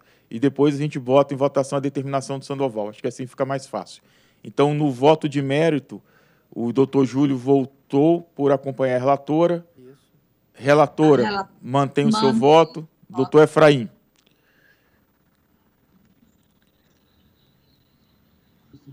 Senhor, como, como estamos, doutor André? Estamos analisando o mérito, se a gente conhece ou não conhece o requerimento da Enercasa. A relatora é, conheceu já, já e o diretor Sandoval acompanhou a relatora. Perfeito. E com a determinação. Eu, eu achei que até já tinha votado, é, acompanho a relatora com a determinação. Doutor Sandoval já votou, acompanhou a relatora. Eu também acompanho o voto da relatora. Agora, a determinação do diretor Sandoval. Agora sim, que é um item novo, doutor Elvio. Então, agora pode se expressar. Ok, eu acompanho o voto de vistas na determinação posta pelo relator. Também acompanho a determinação trazida pelo diretor Sandoval no voto vista. Também acompanho, senhores diretores. Eu também acompanho a determinação do diretor Sandoval e assim proclamo que a diretoria da ANEL, por unanimidade, decidiu conhecer do requerimento administrativo interposto pela Enercasa e no mérito dar-lhe provimento para, em atendimento ao disposto no item 1A do despacho 1717 de 3 de julho de 2014, declarar atendida a comprovação por instrumento hábil e idôneo da disponibilidade de combustível, bagaço de cana-de-açúcar, para a geração de energia elétrica da UTE de casa, para o atendimento ao contrato de energia de reserva 23-2008 SER. E autorizar a entrega de energia no âmbito do CE 23-2008, com a consequente execução de suas cláusulas contratuais. e a diretoria da ANEL também decidiu determinar à Câmara de Comercialização de Energia Elétrica que, até que seja atribuída a garantia física original da UTE, toda a energia gerada pela usina, em cada período correspondente ao ano de suprimento, referente ao CE 23-2008, seja destinada a esse contrato até que seja alcançado o montante contratado definido na subcláusula 6.1, ficando o excedente livre para outras contratações ou uso pela Enercasa. Próximo processo. Item 3, processo 48.500.005928, 2020-28. Atualização dos valores da tarifa de serviços ancilares, a TSA, das tarifas de energia de otimização, a TEL, e TEL Itaipu, e dos limites máximo e mínimo do preço de liquidação de diferenças, PLD, para o ano de 2021. Diretor relator, Sandoval de Araújo Feitosa Neto. Obrigado, senhor secretário-geral a Lei 7.990 de 89 instituiu o pagamento de compensação financeira aos estados, Distrito Federal e municípios e conferiu ao extinto Departamento Nacional de Energia Elétrica, DENAI, precursor desta agência, a competência de fixar a tarifa para efeito de aplicação das compensações financeiras. A Lei 9.648 de 98 estabeleceu em seu artigo 7 alterado pela Lei 13.360, publicada em 2016, para a compensação financeira de que trata a Lei 7.990 de 89, o percentual de 7% sobre o valor da energia elétrica produzida, valorada pela tarifa anualizada de referência TAR, a ser paga pelos consumidores, pelos autorizados ou concessionários da exploração de recursos hídricos. O artigo 22 do decreto 2655, também de 98, sujeita a energia transacionada pelas usinas participantes do Mecanismo de Alocação de Energia, o MRE, a aplicação de encargo com base em tarifa de otimização destinado à cobertura dos custos incrementais de operação e manutenção das usinas hidrelétricas e ao pagamento da compensação financeira pelo uso dos recursos hídricos. A referida tarifa de otimização passou a ser designada de Tarifa de Energia de Otimização, TEL o decreto 5163 de 2004, em seu artigo 57, determinou que a contabilização e a liquidação no mercado de curto prazo sejam realizadas com base no preço de liquidação de diferenças, PLD, e que tal preço, publicado pela Câmara de Comercialização de Energia Elétrica, CCEE, seja calculado antecipadamente com periodicidade máxima semanal, tendo como base o custo marginal de operação CMO, limitado por preços mínimo e máximo.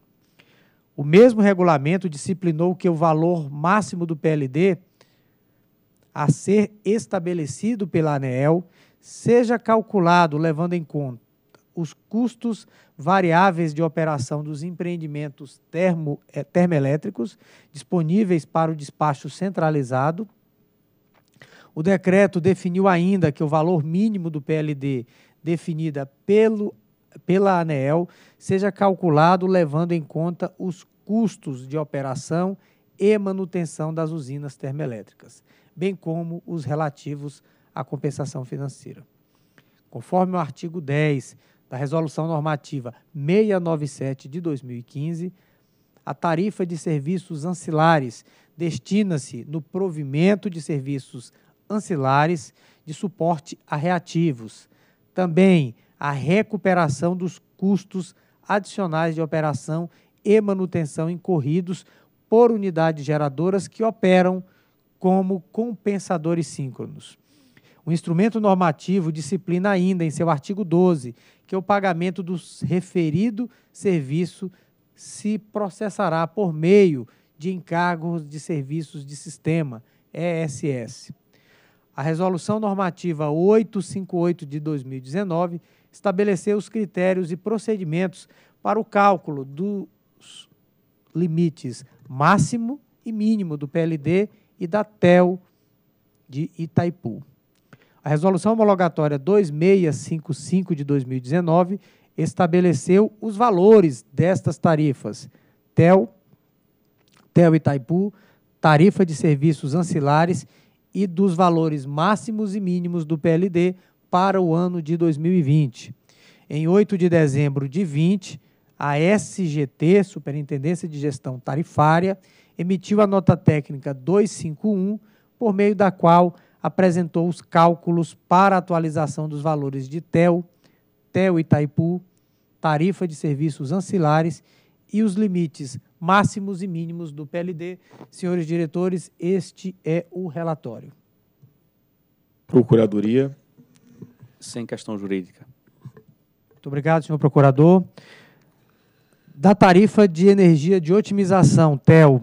A TEL, senhores diretores, é calculada visando cobrir os custos incrementais de operação e manutenção das usinas hidrelétricas e o pagamento da compensação financeira referente à energia transacionada no MRE, e dessa forma é composta por parcelas relacionadas a esses dois itens.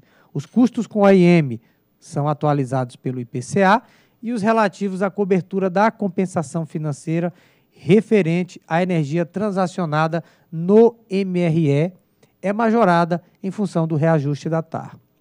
A mais recente atualização da TEL foi promovida por meio da resolução homologatória 2655, que fora citada na etapa de relatório, que fixou o valor em R$ 12,77 por megawatt-hora, com vigência a partir de 1 de janeiro do ano de 2020. Dessa forma, conforme apresentado na tabela 1, a TEL proposta para 21 sofreu um pequeno decréscimo, ela será de R$ 12,74 por megawatt-hora. Essa diminuição de 0,27% decorre essencialmente da revisão da TAR para 2021, conforme consta do processo 48.500 0047 de 2020 da tarifa de otimização TEL de Itaipu. Os critérios para o cálculo da TEL Itaipu estão regulamentados na Resolução Normativa 858 de 2019. Em resumo, a tarifa é estabelecida pelo custo variável, calculado com base em informações prestadas pela Eletrobras e convertido pela média geométrica do dólar nos últimos 12 meses, Nesses 12 meses, o dólar teve bem nervoso. Cabe salientar que sobre a energia cedida pelo Paraguai também incidirão os custos referentes à cessão desta energia. Essa parcela foi calculada pela SGT com base nas informações prestadas pela Eletrobras em 40,32%. Assim, considerando o rateio apurado, os valores constantes no anexo C do Tratado de Itaipu e demais atualizações legais e dados técnicos informados, o custo variável da usina de Itaipu, conforme tabela 2, é de 9.877 dólares e 91 centavos por gigawatt-hora. De acordo com os dados obtidos no site do Banco Central, a média geométrica da taxa de câmbio do dólar americano dos valores diários de venda PETAX entre 1 de dezembro de 19 e 30 de dezembro de 20 foi de R$ 5,04 por dólar. Assim, a TEL Itaipu, com vigência a partir de 1 de janeiro de 21, será igual ao produto entre o custo variável incorrido pela usina hidrelétrica de Itaipu na produção de energia entregue ao Brasil e essa média geométrica da taxa de câmbio do dólar americano, conforme sumarizado na tabela 3, que consta no voto para pronta referência.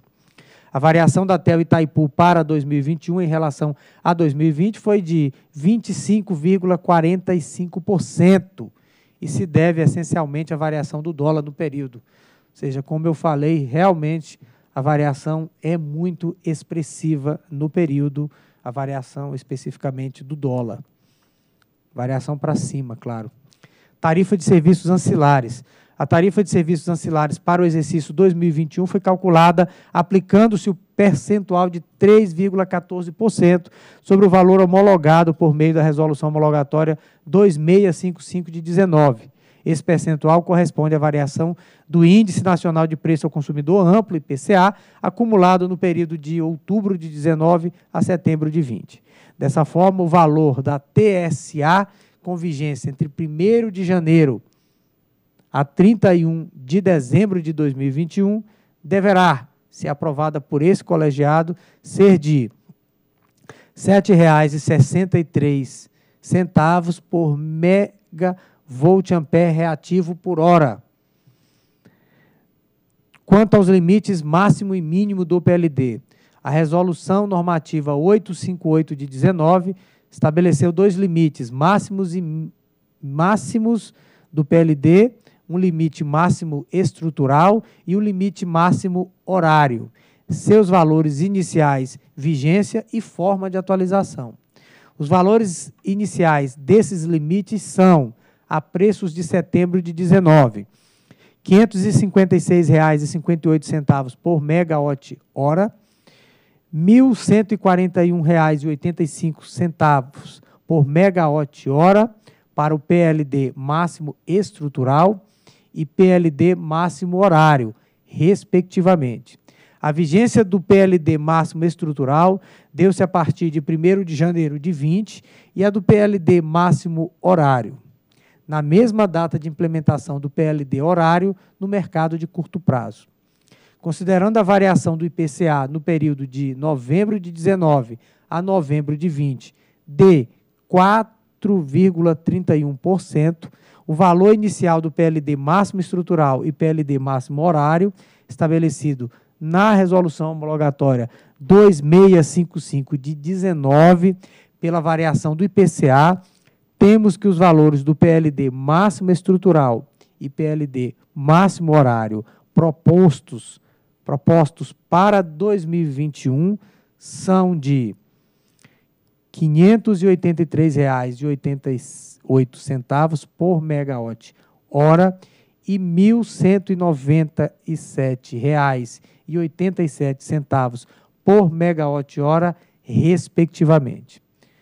Ainda conforme a resolução normativa 858 de 2019, o valor mínimo do PLD deverá ser o maior valor entre a TEL Itaipu e a TEL. Dessa forma, o valor do PLD mínimo proposto para 2021 e, se aprovado por este colegiado, será de R$ 49,77 por megawatt-hora. Assim, senhores diretores, diante do exposto e do que consta do processo 48.500.005928 de 2020, voto por aprovar a emissão de resolução homologatória que fixa os valores das tarifas de energia de otimização TEL e TEL Itaipu, da tarifa de serviços ancilares e dos limites máximo e mínimo do preço de liquidação de diferenças PLD para o ano de 2021. Este é o voto. Em discussão. Bom, conforme disse o relator, doutor Sandoval, em seu voto, a TEL é destinada a, cobrir os custos de OIM e CEFUR das usinas que transacionam no MRE. E está sendo atualizada e a proposta é menos 0,27%, uma pequena redução.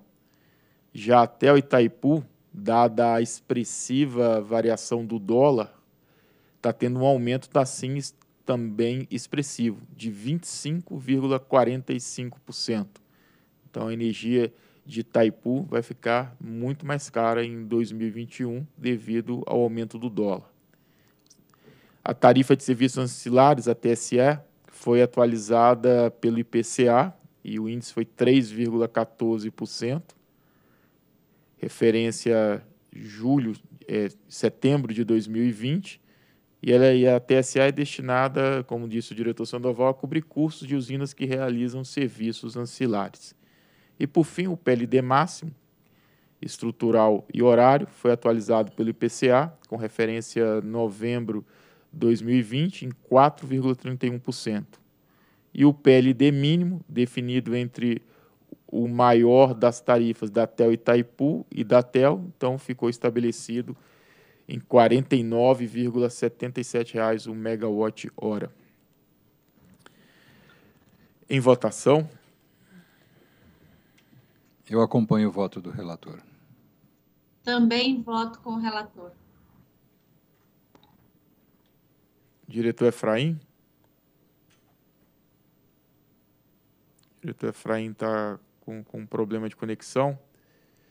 Bom, também voto com o relator e assim proclamo que a diretoria da ANEL decidiu, por unanimidade dos votantes, aprovar a emissão de resolução homologatória que fixa os valores das tarifas de energia de otimização, a TEL, da TEL de Itaipu e da tarifa de serviços ancilares e dos limites máximos, máximo e mínimo do PLD para o ano de 2021. Próximo processo. Doutor André, eu vou inverter a ordem de deliberação da pauta aqui, passando para o item 9, que é da diretora Elisa. Os diretores é, Sandoval e, e Efraim não, não estão presentes agora. Então, item 9 processo 48.500.00.0893.2019.05 e 48.500.00.0983.2019.98 e 48.500.00.0984.2019.32. Proposta de abertura de segunda fase de consulta pública número 13, 2020, com vistas a colher subsídios e informações adicionais para a consolidação e aperfeiçoamento das regras que tratam da classificação das instalações de transmissão e do acesso ao sistema de transmissão por meio da criação do módulo 2, classificação das instalações, e do módulo 5, acesso ao sistema, das, das regras do serviço de transmissão de energia elétrica. Diretora relatora, Elisa Bastos Silva.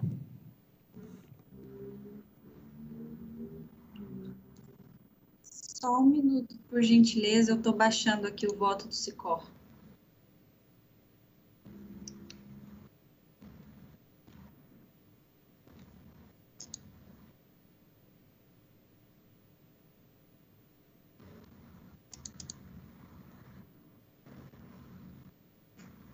Por meio da portaria 4.821, de 28 de novembro de 2017,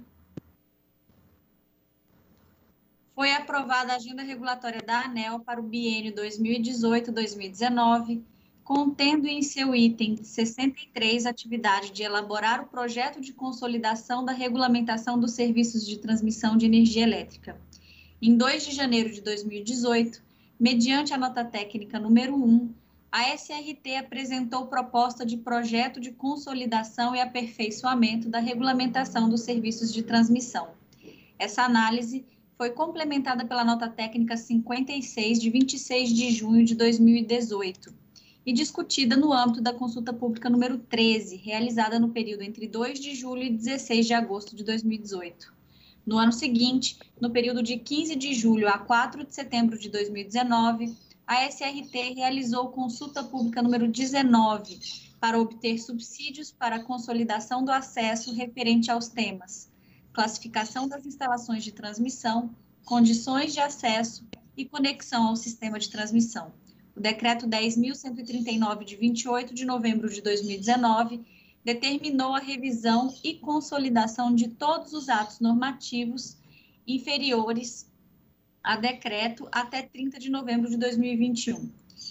Em 30 de junho de 2020, por meio da portaria 6.421, foi aprovada a agenda regulatória da ANEL para o biênio 2020-2021, contendo em seus itens 15, 16, 17 e 18, respectivamente, o aperfeiçoamento e consolidação dos temas classificação das instalações de, de transmissão, condições gerais do acesso ao, ao sistema de transmissão e condição às instalações de transmissão, bem como a consolidação do tema contratação do uso do sistema de transmissão.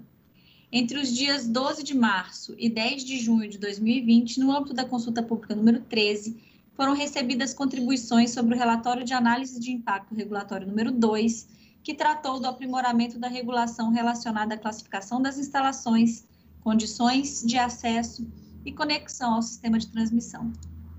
A consulta pública número 13 contou com 29 participantes, entre agentes e associações do setor, além do Operador Nacional do Sistema Elétrico, que apresentaram 108 contribuições referentes ao AIR número 2 da ANEL. Além das referidas consultas públicas, a SRT realizou o workshop Inova Transmissão, Acesso e Conexão e diversas reuniões internas e externas envolvendo segmentos de distribuição, geração e transmissão, bem como instituições e associações do setor. No dia 23 de março de 2020, na sessão de sorteio público ordinário número 11, o processo 48.500.000.893-2019 foi a mim distribuído devido à exoneração do diretor Rodrigo Lipe Nascimento. Por sua vez, na sessão de sorteio público ordinário número 40, realizada em 9 de outubro, os outros dois processos referentes ao tema foram distribuídos por conexão.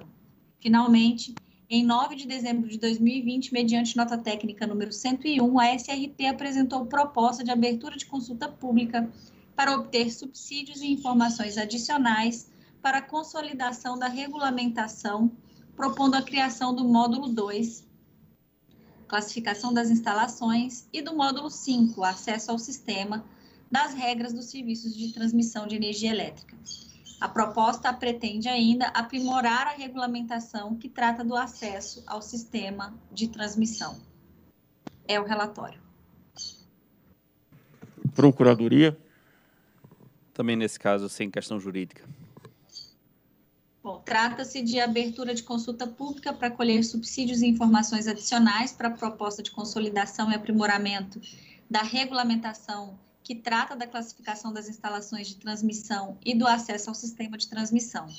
Diante do que exponho a seguir, eu encaminho o presente voto no sentido de instaurar a segunda fase da consulta pública número 13 por um período de 47 dias, a fim de colher subsídios e informações adicionais para o aprimoramento da proposta de regulamentação, consolidada nos módulos 2 e 5 das regras dos serviços de transmissão de energia elétrica. Para um maior detalhamento da proposta, eu solicitei uma apresentação técnica, então solicito a SGE que transmita a apresentação realizada pelas áreas.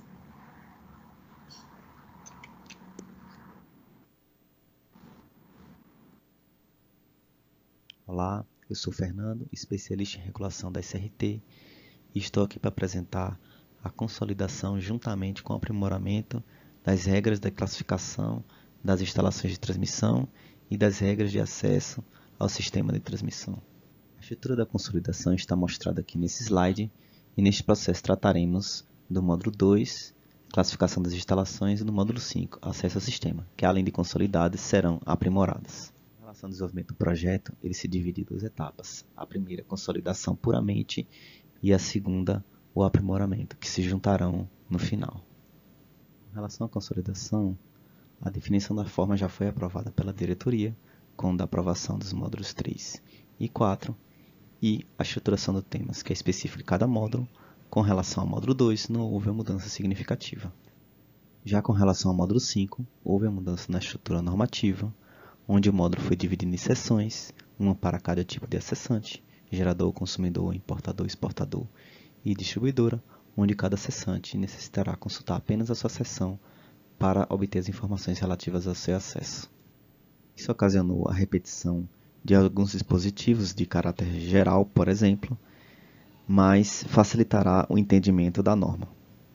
Com relação ao aprimoramento, nós publicamos na Consulta Pública 13 de 2020 o AIR com a definição dos problemas e a discussão das alternativas e obtivemos as contribuições dos agentes.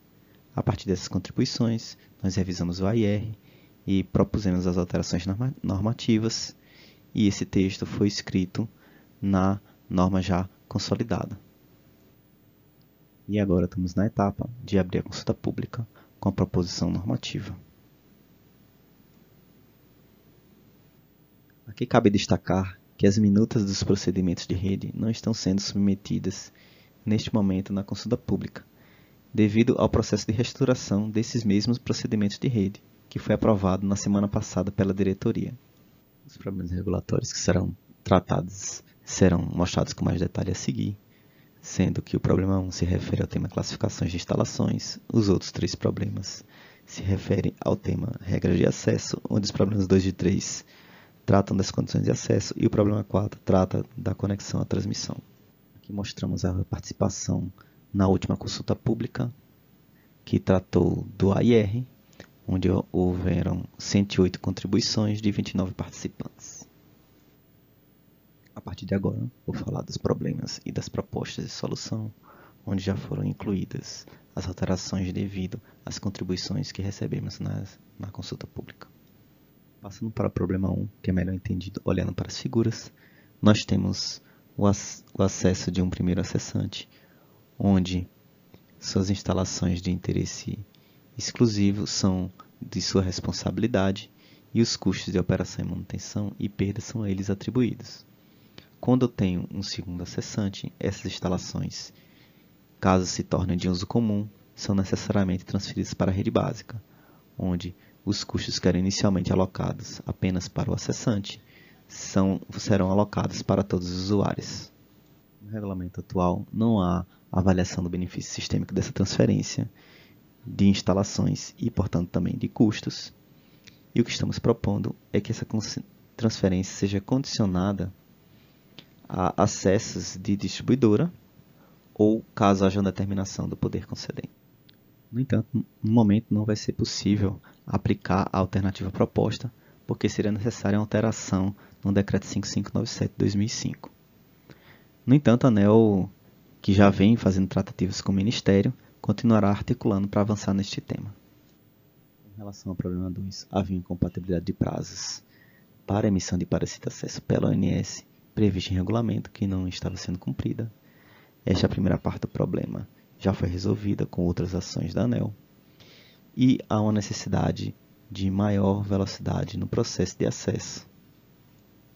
Como alternativas para esse problema, temos a alternativa 1, que mantém os termos da regulamentação vigente, a alternativa 2, que é alterar as regulamentações conforme a proposta do INS.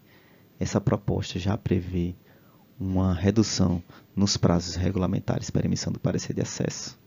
Temos a terceira alternativa, em que temos uma redução de prazo escalonada, conforme mostrado na tabela, e sendo esses prazos finais menores do que o inicialmente propostos pelo ONS.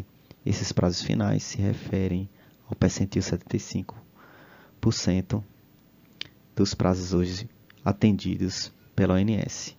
Foi inserido um prazo de admissibilidade de 15 dias, que somente estava previsto no procedimento de rede, e foi incluída nessa proposta a necessidade de publicação em local de fácil acesso pela ONS da fila de análise das solicitações de acesso pelos agentes, dando mais transparência ao processo.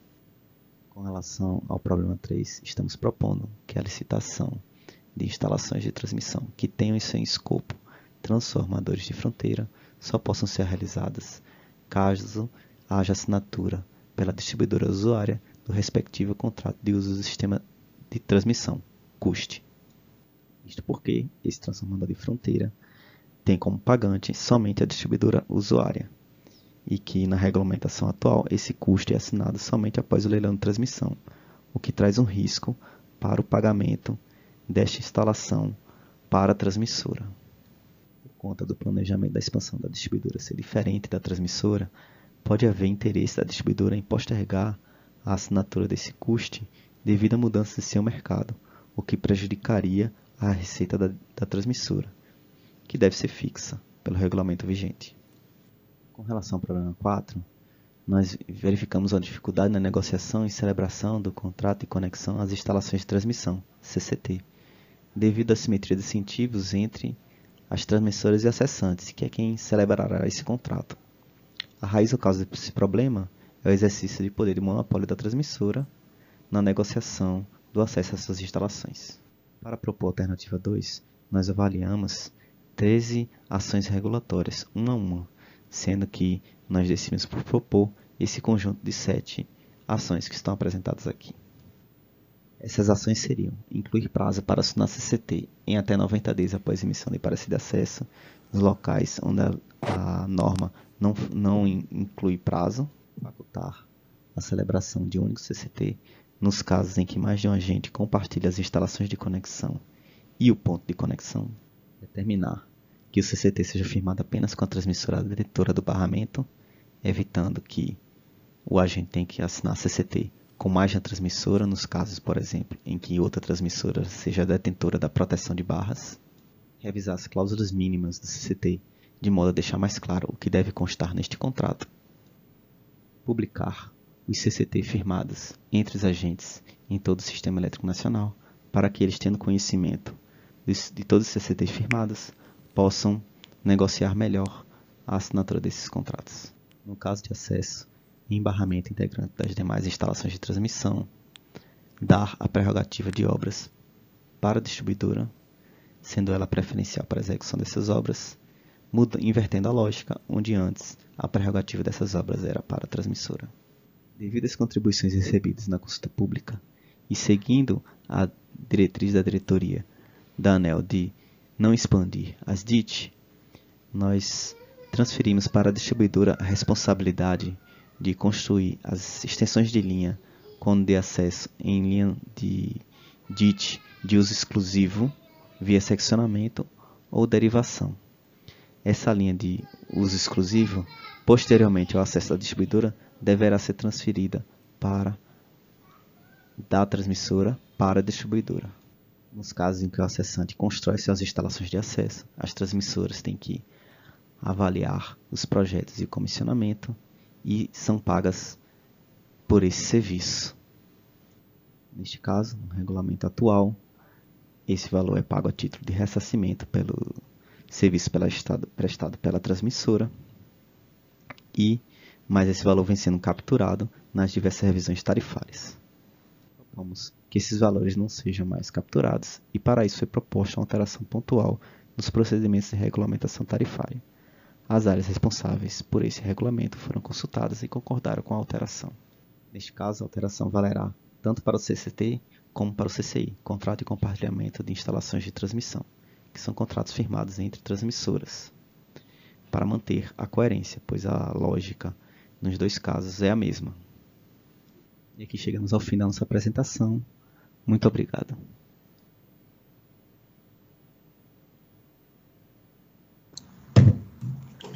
Bom, agradeço a apresentação re é, realizada pelo Fernando da SRT. Como ele trouxe todos os pontos, eu vou pedir licença e vou passar direto à conclusão do voto a, consolidação das regras de acesso ao sistema de transmissão tem fundamental importância no cenário atual do setor elétrico.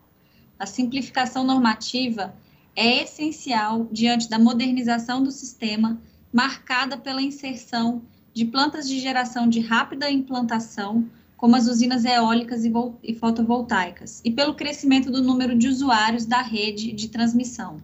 Nesse sentido, a inovação do arcabouço regulatório contribui para a atividade de novos investimentos e, consequentemente, para o desenvolvimento econômico do país. Com a consolidação das regras aqui tratadas, será possível a revogação de sete atos normativos. Assim, o texto consolidado passará a apresentar de forma clara e concisa dispositivos antes dispersos em várias resoluções. Ademais, a revisão dos comandos regulatórios trará uniformidade e facilitará a sua adequada interpretação. Acredito também que os aprimoramentos propostos trarão mais agilidade para o acesso ao sistema de transmissão e transparência aos acordos firmados entre as transmissoras e os seus usuários. Além disso, as intervenções normativas propiciarão incentivos regulatórios mais adequados à necessidade do setor elétrico. Por fim, ressalto que a discussão do texto proposto nessa segunda fase de consulta pública deve contribuir de maneira relevante para o aperfeiçoamento da proposta. Diante do exposto que consta os processos 48.500.000.893.2019.05, 48.500.000.983.2019.98 e 48.500.000.984.2019.32, voto pela abertura da segunda fase da consulta pública número 13, na modalidade de intercâmbio documental, com duração de 47 dias, no período de 16 de dezembro de 2020 a 1 de fevereiro de 2021, para colher subsídios para consolidação e aprimoramento da regulamentação que trata da classificação das instalações de transmissão e do acesso ao sistema de transmissão por meio da criação do módulo 2, classificação das instalações, e do módulo 5, acesso ao sistema, das regras de serviços de transmissão de energia elétrica é o voto. Em discussão a matéria. Em votação. Eu acompanho o voto da relatora. Diretor Efraim. Diretor André, está sem áudio. Diretor Efraim. Então, diretor eu, Sandoval. Já com, antecipo meu voto, eu também acompanho o voto da diretora Elisa. Senhores diretores, me perdoem, é, meu estava com problema com áudio, também acompanho o voto da diretora Elisa. Também acompanho o voto da relatora e assim proclamo que a diretoria da ANEL, por unanimidade, decidiu abrir a segunda fase da consulta pública 13-2020 na modalidade intercâmbio documental com duração de 47 dias no período de 16 de dezembro de 2020 a 1 de fevereiro de 2021 para colher subsídios para a consolidação e aprimoramento da regulamentação que trata da classificação das instalações de transmissão e do acesso ao sistema de transmissão por meio da criação do módulo 2, classificação das instalações, e do módulo 5, acesso ao sistema das regras de serviço de transmissão de energia elétrica. Próximo item. Item 4, processo 48 500 14 14 2020 01. Segunda fase da consulta pública número 42 de 2020, instituída com vista a colher subsídios e informações adicionais para aprimoramento dos módulos preço de liquidação das diferenças, contratos, tratamento de exposições, comprometimento de usinas, encargos, consolidação de resultados, penalidades de energia, cálculo do desconto aplicado às tarifas de uso dos sistemas de transmissão ASTUST e de distribuição ATUSD, reajuste dos parâmetros da receita de contrato de comercialização de energia elétrica em ambiente regulado, CCARs, receita de venda de CCARs e alocação de geração própria, AGP, das regras de comercialização, versão 2021, a serem operacionalizadas a partir de janeiro de 2021. Diretor-relator, Efraim Pereira da Cruz. Senhores diretores, muito bom dia.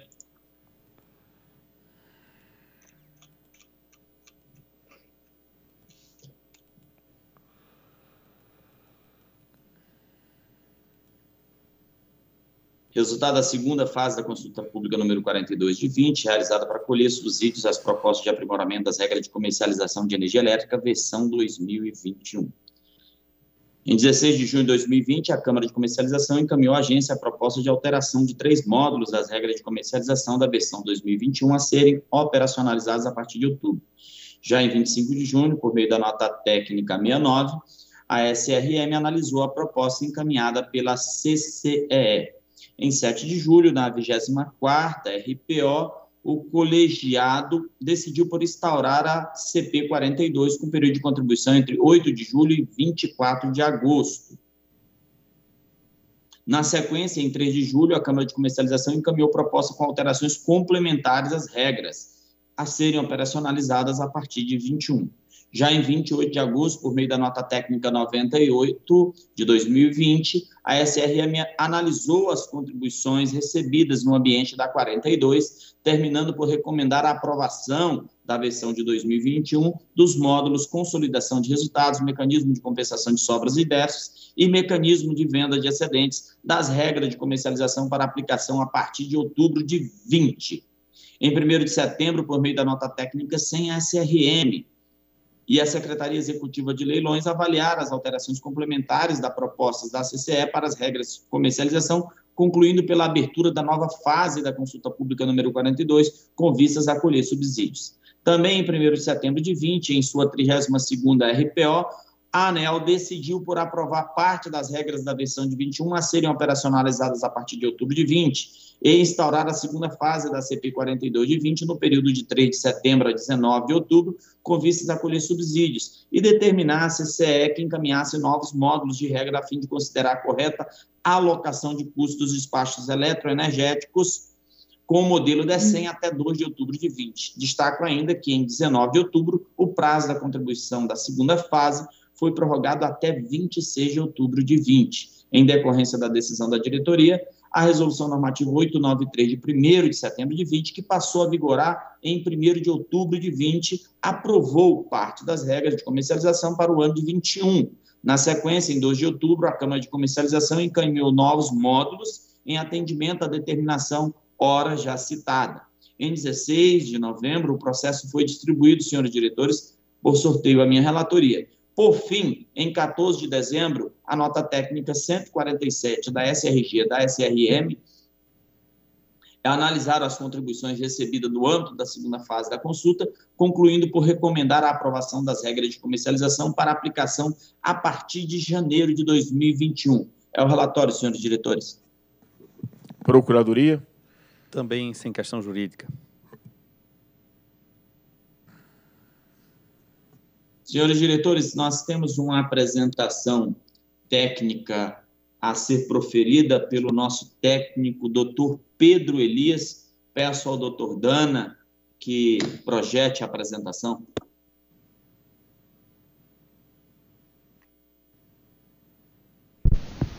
Bom dia a todos. Eu vou apresentar aqui as análises das contribuições recebidas no âmbito da segunda fase da consulta pública 42 de 2020, que tratou das regras de comercialização para 2021. É, e essa análise realizada pela SRM, pela SRG e encaminhada à diretoria para deliberar. Foram recebidas um total de 61 contribuições, das quais 36, representam 60%, foram aceitas ou parcialmente aceitas não foi aceita. Bem, eu vou apresentar agora os principais assuntos tratados nessa, nessa segunda fase da CP42, bem como é, apresentar as principais contribuições quando for o caso.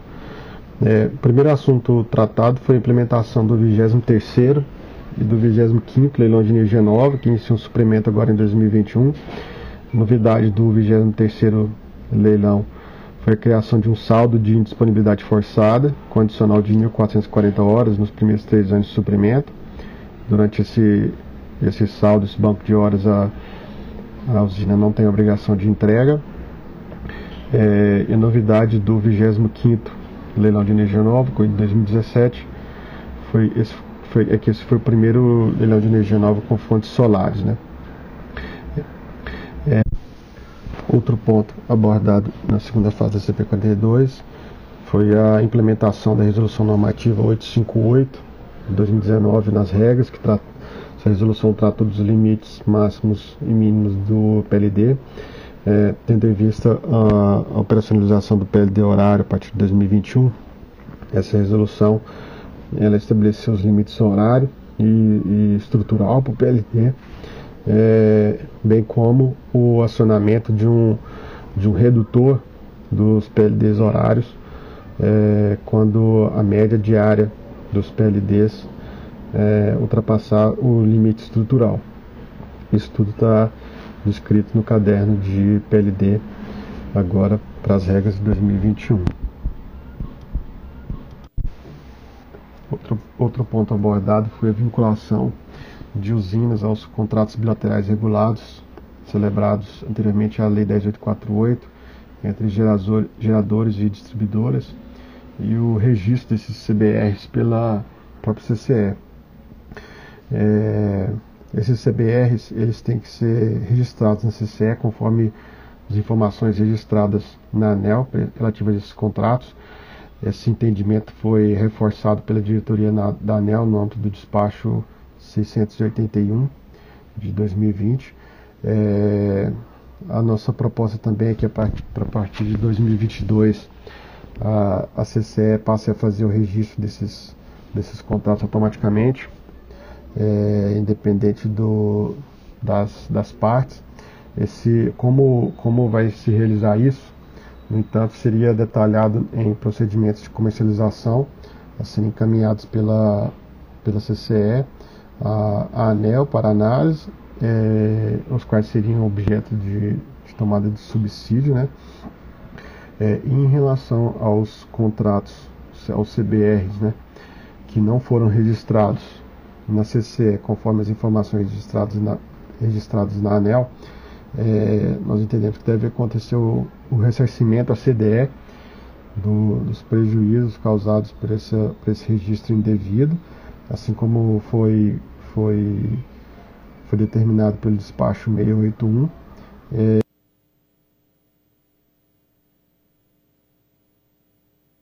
encaminhados à, à diretoria. Outro ponto tratado na, na segunda fase da CP 42 foi a respeito do cálculo do consumo líquido para, para os consumidores autoprodutores, né? É, o consumo líquido, no nosso entendimento, ele seria o, esse consumo que excede a carga atendida por geração própria, né? Então, seria o consumo líquido menos a, uma geração aí de uso exclusivo, de atendimento à própria carga. É, e essa geração de uso exclusivo, por sua vez, ela é calculada pela geração total subtraída da geração que foi comercializada pelo agente. Né? Na abertura da, da CP, nossa, nossa proposta incluía também é, que as usinas otorgadas é, para SPEs, né, cujo, cujo acionista é, fosse um, um, consumidor também, que essas usinas otorgadas como SPE, a partir de 1 de janeiro de 2021, não fossem mais é, equiparadas a, a autoprodutor, em razão da, de ausência de uma lei específica para essa equiparação em relação a encargo de serviço de sistema e energia de reserva. A despeito da Lei 11488 fazer essa equiparação, apenas para efeitos de CDS, CCC e Proinfa. É, houveram diversas contribuições, né, é, principalmente no sentido de que esse tema está sendo discutido tanto no PLS 232 de 2016 quanto no PL 1917 de 2015, que tratam da modernização do setor. É, e em, em razão desses argumentos, nós optamos por manter manter por hora o, o, essa, essa equiparação né, das, dos consumidores participantes de SPE, no entanto, com, um, com uma alteração que, que leva em consideração o disposto no decreto 6210 de 2017, que regulamentou em parte a própria Lei 11488, é, de que essa equiparação de consumidor participante para de SPE, ela ela, é, ela ocorre né, para cargas maiores ou iguais a 3 MB. Então, de forma a abarcar essa, tanto a contribuição dos agentes né, a respeito dos, dos PLs, quanto o disposto no decreto, nossa proposta é, que, é de que as SPS otorgadas, registradas ou prorrogadas né, a partir de 1 de janeiro de 2021, elas sejam equiparadas a autoprodutor, né, o consumidor que, se, que, que tem essa, essa outorga da espécie seja equiparado ao autoprodutor, mas apenas para cargas maiores ou iguais a 3 MB. Né? Então, a partir de 1 de janeiro de 2021, as cargas menores do que 3 MB, elas não, elas não teriam essa, essa equiparação. Lembrando que já é, já é assim para CDS, CCC e Proinfa. Né? O tratamento dado pela Lei 11488 e pelo decreto 6210, ela faz essa distinção aí para cargas menores que 3 MB e esse tratamento também existe, é, também está em discussão no âmbito dos PLs 232 e 1917. Quanto à consideração de, de, energia comercializada, é, a maior parte das contribuições foi no sentido de que a energia comercializada não deveria ser ser, ser descontada né, para o cálculo do consumo líquido. É, nosso entendimento, no entanto, é que isso deve ocorrer, porque se a energia for comercializada, ela naturalmente ela não tem como ser utilizada para atendimento à carga do consumidor, do autoprodutor, né? então ela tem sim que ser desconsiderada. É, no entanto, nós acatamos boa parte das contribuições parcialmente, no sentido de não haver uma priorização de, de atendimento aos contratos em relação ao alto consumo. Portanto, no caso de, por exemplo, de contratos no ACR, a nossa proposta é de que a geração da usina seja proporcionalizada né, para atender o contrato no, no, ambiente regulado e o, e o alto consumo do consumidor, no, isso mensalmente. Né. É, com relação a contratos no ACL, haveria ainda uma, uma distinção entre energia convencional não especial e energia incentivada ou especial. Né. No caso de energia convencional não especial, nós entendemos que esses contratos realmente eles não precisam ser, ser considerados, é, eles não, não, não geram nenhum benefício ao, ao, ao consumidor, né, a venda desses, desses contratos, então eles não precisariam ser considerados no cálculo do consumir.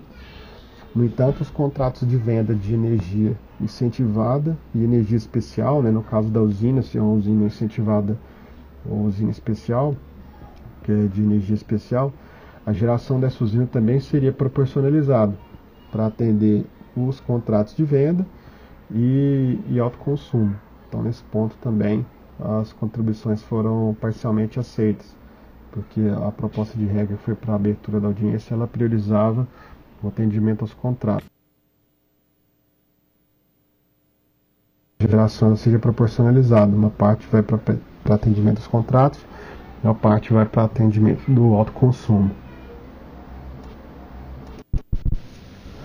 Outro ponto tratado na, nessa CP de 42 também foi a revisão do tratamento de exposições financeiras CCARs. Esse tratamento está disposto no decreto 563, é, exposição decorrente de diferença de preço entre supermercados a regra atualmente ela considera todos os tipos de, de contratos, né, independente da, da geração efetiva de cada usina. Na abertura da AP, é, a CCE propôs a alteração desse alívio para considerar apenas as exposições efetivamente ocorridas, né, decorrente da, da, da geração das usinas, né, e desconsiderar é, os momentos em que as usinas não estão, não estão gerando e, e consequentemente, não há a, a exposição financeira. É, e no, no, no, fechamento da CP agora, nosso entendimento de, foi de aceitar essa contribuição da CCE e promover e, e fazer as alterações nas regras, né, para que o alívio de exposições financeiras de CCAR considere apenas as exposições que efetivamente ocorreram em razão de diferença de preço entre o supermercado. Outro aspecto é, trabalhado nessa CP42 também foi o tratamento a ser dado quando ocorre inflexibilidade e indisponibilidade, seja forçado ou programado em o mesmo período em que a usina não tem está isenta de obrigação de entrega. É, a nossa avaliação na abertura da CP foi de que os CCAs eles são incompletos nesse ponto então, de que as regras de comercialização devem dar o, o devido tratamento. A única contribuição foi da, da CCE nesse, nesse aspecto, é, segundo eles, o, apesar de, de não representar de maneira fidedigna o conceito envolvido, eles entendem que o, o contrato deve ser, é, é deve ser cumprido em sua, em sua literalidade. É, nós não, não, concordamos com isso, entendemos que a regra deve fazer esse complemento aí do, nos pontos que o não, não abarca. Então, no fechamento da CP agora, as regras vão ser, vão ser colocadas é, na abertura, vão ser mantidas né, para dar o devido tratamento à inflexibilidade. Mais um ponto tratado na CP de 42 foi a respeito da penalidade de energia de reserva. Essa penalidade está estabelecida no decreto 6353, artigo 7 e atualmente ela está ela tá regulamentada apenas para usinas a biomassa, é, por meio da resolução 452 de 2011. É, na abertura do CP42 a gente identificou essa lacuna e, e, propusemos a extensão dessa aplicação da penalidade a todas as, todas as demais fontes de energia de reserva. Né? As, as principais contribuições foram no sentido de que a, a agência não poderia propor uma nova penalidade, que não estava estabelecida à época dos, dos leilões de energia de reserva, e que é, essa penalidade ela seria uma dupla penalização, tendo em vista que os contratos já estabelecem lá um, uma penalidade por quando, quando a usina não gera, quando há uma disponibilidade de geração. Quando esse o primeiro aspecto, né, de que de que essa penalidade não estava não estava vigente à época dos leilões, é, nosso entendimento é de que de que esse argumento não prospera, porque a penalidade por suficiência de lastro ela está estabelecida no mercado desde do decreto 5163 em 2004 e o decreto 6353 que trata da reserva apenas reforça a necessidade de estabelecimento dessa penalidade para as usinas que vendem energia de reserva. É, e quanto à, dupla penalização, esse argumento também não procede, tendo em vista que o, a penalidade de insuficiência de laço é a penalidade perante o mercado, é a penalidade por falta de capacidade de geração. A, o, no, no contrato que está estabelecido é um ressarcimento em razão da insuficiência da geração da usina, independente da, da motivação para essa insuficiência de geração. É, e, ademais, a nossa proposta é de que essa, essa penalidade ela seja aplicada para todas as fontes a partir de, de janeiro de 2022, tendo em vista a geração ocorrida em, em 2021, né? Então, de, até lá, os agentes vão ter tempo hábil para sanar as, as inconformidades. E por fim, o último ponto tratado na CP 42 diz respeito à alocação de custos do despacho eletroenergético com o modelo D100, em razão do despacho é, realizado pelo NSC, é, despacho nodal, e pela CC considerando a, as restrições internas aos subsistemas, e na CCS despacho sazonal, desconsiderando essas restrições internas. É, na, na, na CP, mas foi no sentido de que esse tema merecia ser discutido numa, num processo específico com o qual nós, nós concordamos. Então, é, a SRM e a SRG vão instruir um processo específico para tratar desse tema agora em 2021. Muito obrigado a todos.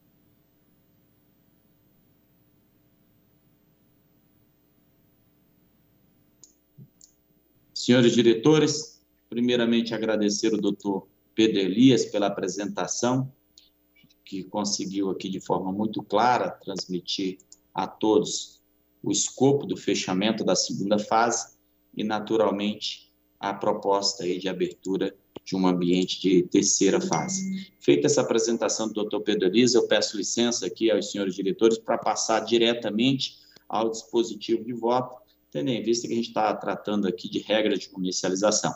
Diante do exposto e do que consta no processo 48.500, 1414, 2020, 01, voto por aprovar as regras de comercialização de energia elétrica para aplicação a partir de 2021, conforme minuta de resolução normativa anexa, e aprovar a abertura da terceira fase da consulta pública 42 de 2020, com prazo de contribuições de 17 de dezembro a 1 de fevereiro de 21, com vistas a colher subsídios e informações adicionais para o aprimoramento dos módulos encargos e alocação de geração própria, AGP, das regras de comercialização, anexos à nota técnica 147-2020 da SRM, SRG ANEL, especificamente quanto ao cálculo da geração de uso exclusivo para efeitos dos pagamentos de encargo. É o voto, senhores diretores.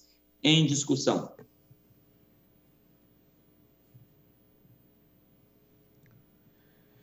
Em votação. Eu acompanho o voto do relator. Também voto com o relator. Eu também acompanho a proposta de voto do eminente relator, doutor Efraim. A diretoria, por unanimidade, decidiu aprovar as regras de comercialização da energia elétrica para aplicação a partir de 2021 e instaurar a terceira fase da consulta pública número 42 de 2020, com prazo de contribuições entre 17 de dezembro de 20 até 1 de fevereiro de 2021, com vistas a colher subsídios e informações adicionais para o aprimoramento dos módulos em cargo e alocação de geração própria AGP das regras de comercialização anexos à nota técnica número 147/2020 da SRM-SRG, especificamente quanto ao cálculo da geração de uso exclusivo para efeitos de pagamento de encargos. Doutor Dana, próximo item. Item 5, processo 48.500.00.1802.2020.84. Resultado da consulta pública número 59/2020, instituída com vista a colher subsídios e informações adicionais para o aprimoramento dos limites para os indicadores de continuidade de duração equivalente de interrupção por unidade consumidora, o DEC, e de frequência equivalente de interrupção por unidade consumidora, o FEC, da distribuidora Enel Distribuição Rio, a NRJ, para os anos de 2021 a 2023. Diretor-relator, Efraim Pereira da Cruz.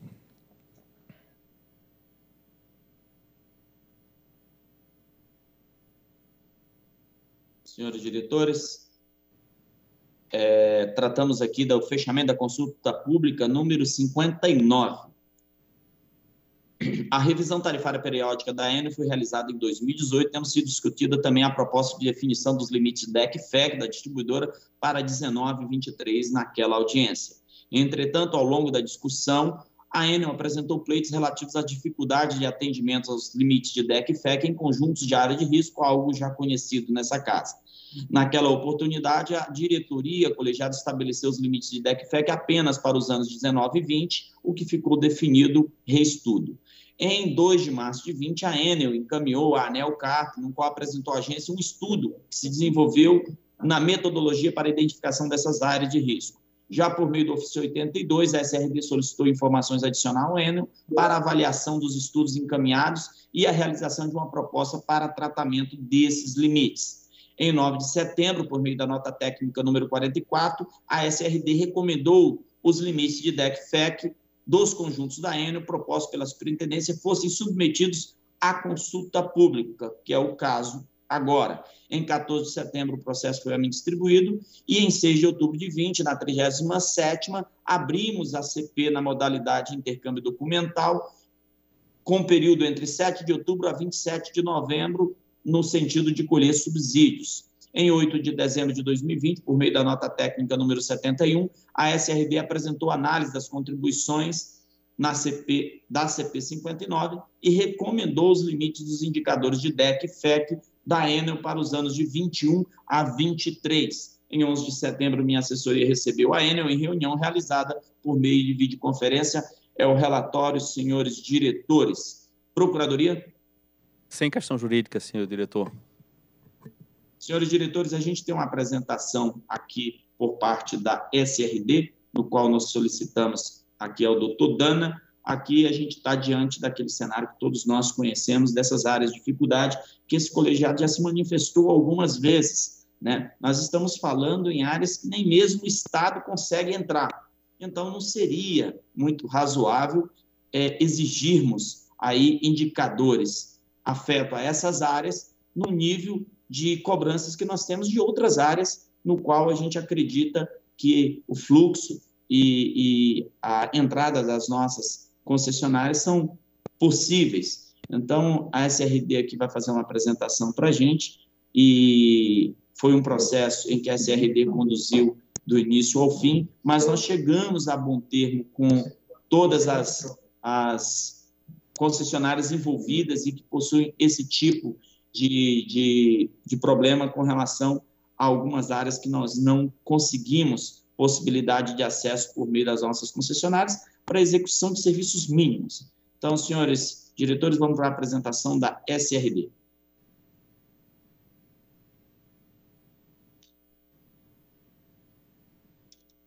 Cumprimento a diretoria colegiada da ANEL e a todos que acompanham essa reunião. Meu nome é Davi Vidal, sou especialista em regulação da SRD e vou apresentar a proposta de definição dos limites de DECFEC da Enel Rio para os anos de 2021 a 2023, após a realização da consulta pública 59 de 2020. A motivação para essa proposta foi uma determinação da diretoria colegiada no processo de definição de limites da Enel Rio de 2018. Na ocasião, restaram dúvidas quanto ao impacto das áreas de risco nos indicadores da distribuidora. Dessa forma, a diretoria estabeleceu limites apenas para os anos de 2019 e 2020.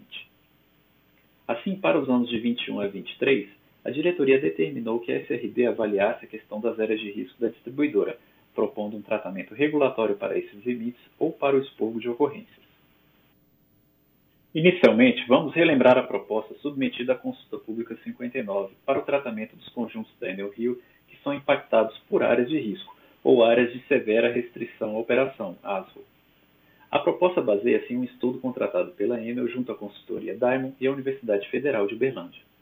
Nessa proposta, a análise de uma área de risco é realizada em duas etapas. Primeiramente, verifica-se a existência de uma área de risco potencial, a partir de indicadores relacionados às condições socioeconômicas.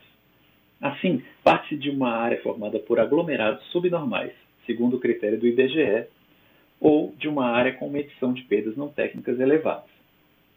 Pelo menos uma dessas condições deve ser atendida. Além disso, o município onde a área se localiza deve possuir taxa de homicídio superior a 10 por 100 mil habitantes, bem como possuir uma quantidade de unidades consumidoras com inadimplência superior a 90 dias, maior ou igual a mil, ou maior que 50% do total de unidades consumidoras do conjunto. Atendidas essas condições, tem-se o estabelecimento de uma área de risco potencial, ou seja, uma área que terá seus indicadores investigados para verificar se há necessidade de uma flexibilização dos limites do conjunto que a atende. Definidas as áreas de risco potenciais, passa-se à avaliação dos seus indicadores. No estudo apresentado pela Enel, a distribuidora propôs duas condições para a classificação de uma área de risco potencial em área de risco efetiva, ou seja, aquela que terá os indicadores de seu conjunto flexibilizados. A primeira condição proposta foi a de que o deck da área de risco fosse superior ao deck da área normal do conjunto. Alternativamente, a segunda condição exigiria que a duração média das interrupções, caracterizada pela relação entre os indicadores DEC e FEC, fosse superior na área de risco quando comparada à área normal do conjunto. Logo, pela proposta da Enel Rio, atendidas quaisquer dessas condições, teremos a caracterização de uma área de risco efetiva. A ANEL, entretanto, avaliou que alguns critérios adicionais deveriam ser cumpridos. Primeiramente, definiu-se um filtro para avaliação das áreas de risco potenciais, baseado no indicador Consumidor Hora Interrompido, o CHI. Esse indicador representa o somatório dos indicadores DIC de todas as unidades consumidoras de uma determinada área. Assim, estabeleceu-se que o CHI da área de risco potencial deveria ser no mínimo 50% do CHI total do conjunto. Em outras palavras, isso é o mesmo que determinar que 50% do DEC do conjunto deve ser devido à área de risco, para que essa área de risco potencial seja uma candidata à área de risco efetiva. Passando por esse filtro inicial, duas condições foram estabelecidas para a definição de uma área de risco efetiva. A primeira é a de que o DEC da área de risco deve ser superior em 10% ao da área normal, assim como a duração média das interrupções da área de risco deve ser superior à duração média da área normal. Outra possibilidade é a de que o DEC da área de risco seja superior em 20% ao DEC da área normal do conjunto. Atendidas essas condições, tem-se o estabelecimento de uma área de risco efetiva. Para os conjuntos com essas áreas, definiu-se então uma flexibilização, que é a utilização do percentil 50 dos desempenhos dos conjuntos comparáveis como balizador de seus limites, ao invés do percentil 20 usado em geral na metodologia. Em suma, essa foi a proposta colocada para debate na consulta pública. Seguindo, vamos tratar da análise das contribuições da consulta. Recebemos contribuições de três entidades: a Abrace, a própria Enel Rio e a Light. Nessa tabela é mostrado o bom aproveitamento das contribuições encaminhadas à consulta. De um total de 10 contribuições enviadas, seis foram aceitas integral ou parcialmente, ou seja, 60% das sugestões. A seguir, mostramos um resumo das principais contribuições avaliadas. A Brace opinou que o tema das áreas de risco é importante e deve ser regulado pela ANEL, e não tratado apenas nos casos concretos. A contribuição foi aceita, e o tema inclusive faz parte da agenda regulatória recém-aprovada da agência, com o início da discussão prevista para 2021. A Enel Rio apresentou contribuição solicitando um ajuste na forma de cálculo dos indicadores das áreas normal e de risco dos conjuntos. Na proposta da consulta, a partir dos dados georreferenciados da distribuidora, a ANEL realizou o cálculo utilizando o layer de unidades consumidoras. No entanto, devido ao critério usado pela Enel para a formação dos polígonos das áreas de risco, que adotou o layer de transformadores de distribuição, o uso do layer de consumidores pela ANEL provocou algumas distorções nos resultados. Assim, a contribuição foi aceita. Outra contribuição da Enel solicitou a redução do critério de 50% do CHI para que uma área de risco potencial seja avaliada. A Light também contribuiu, afirmando que o critério seria muito rigoroso, pois apenas três conjuntos da distribuidora se enquadrariam. Concordamos com as contribuições e acatamos o patamar de 25% do CHI proposto pela Enel. A Enel também solicitou que a ANEL tratasse de forma diferenciada os conjuntos com áreas de risco efetivas, de acordo com o nível do deck da área de risco em comparação com a área normal. A distribuidora sugeriu a adoção de quatro faixas, com percentis variando de 50 a 80. Apesar de concordarmos com a ideia de tratamento diferenciado de acordo com a severidade da área de risco, entendemos que o DEC não é o melhor indicador para essa análise, sendo preferível o indicador CHI. Assim, a contribuição não foi aceita. Continuando, a Light apresentou contribuição semelhante à da Enel, propondo diferenciar os percentis de acordo com a severidade da área de risco. No entanto, a Light propôs o uso do indicador CHI, classificando os conjuntos em quatro faixas, com percentis variando de 30 a 60. Concordamos com a ideia proposta e com o uso do CHI. Assim, a contribuição foi parcialmente aceita, criando-se três faixas de classificação dos conjuntos com área de risco, com percentis variando de 40 a 60. Prosseguindo, a Enel solicitou a inclusão de dois conjuntos como possuindo área de risco efetivas, Angra dos Reis e Santa Cruz da Serra, já que possuem CHI da área de risco superior a 25% do CHI total do conjunto. No entanto, esses conjuntos não passaram nos demais critérios estabelecidos para os indicadores, ou seja, não há uma diferença significativa entre os indicadores da área de risco e da área normal do conjunto. Assim, a contribuição foi rejeitada. Finalmente, a Enel apresentou uma única contribuição para conjuntos que não possuem área de risco. A distribuidora solicitou que a ANEL mantivesse a flexibilização definida em 2018 para o conjunto Ilha Grande, dadas as suas particularidades. Uma vez que se trata de uma ilha atendida por cabo subaquático com área de proteção ambiental, cujo atendimento depende das condições de navegabilidade, com restrição ao uso de veículos, entre outros aspectos, acatou-se a contribuição, mantendo-se a flexibilização para o indicador DEC desse conjunto, da forma estabelecida pela ANEL em 2018. Aqui resumimos então as alterações nos critérios de classificação de áreas de risco efetivas, após análise das contribuições da consulta. A primeira mudança é a do critério do CHI mínimo para avaliação de uma área de risco potencial, que passou de 50% para 25% do CHI total do conjunto. E a segunda mudança se refere ao percentil adotado para os conjuntos com áreas de risco efetivas, que era o percentil 50 para todos os conjuntos. Passa-se a estabelecer três patamares de percentil, de acordo com a severidade da área de risco. Percentil 40 para conjuntos com CHI da área de risco entre 25% e 50%, percentil 50 para conjuntos com CHI da área de risco entre 50% e 75%, e o percentil 60 para os conjuntos com CHI da área de risco superior a 75%. Nesse slide, apresentamos uma comparação entre a proposta submetida à consulta, a contraproposta da Enel e a proposta da SRD após análise das contribuições. Na consulta, tínhamos então sete conjuntos com área de risco efetiva.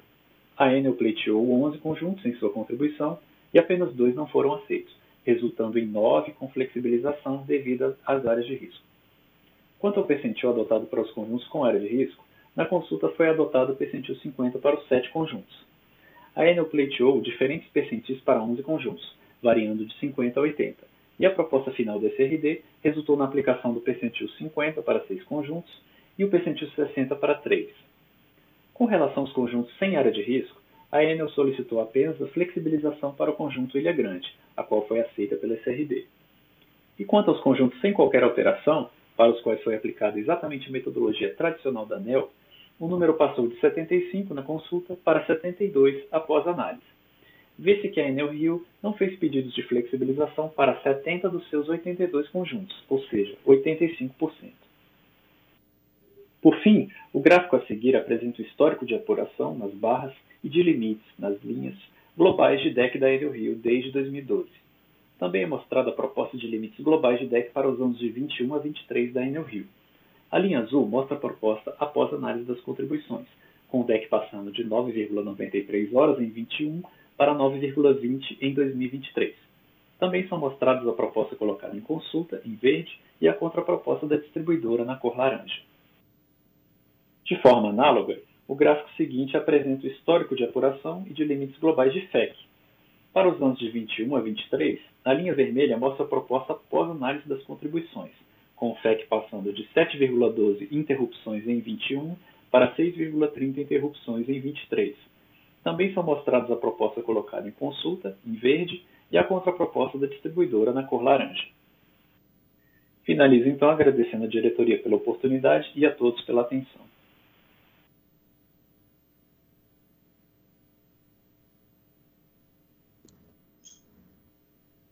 Senhores diretores, agradeço a fala do Dr. Davi Vidal, a qual aqui nós louvamos toda a superintendência da SRD na pessoa do Dr. Matar, que juntamente com o Dr. Felipe Dib conduziram esse processo juntamente com todos os técnicos envolvidos e qual agradeço aqui a participação de cada um.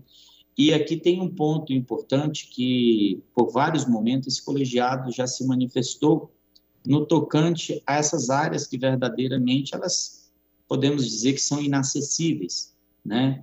E eu iniciei esse movimento de sensibilidade com relação a esse tema na minha primeira ida na Enel Rio de Janeiro e na Light, quando nós estivemos lá, eu era o, o, o responsável pelo plano de resultados da Light e na época o doutor Rodrigo Limpe era o responsável pela Enel no Rio de Janeiro.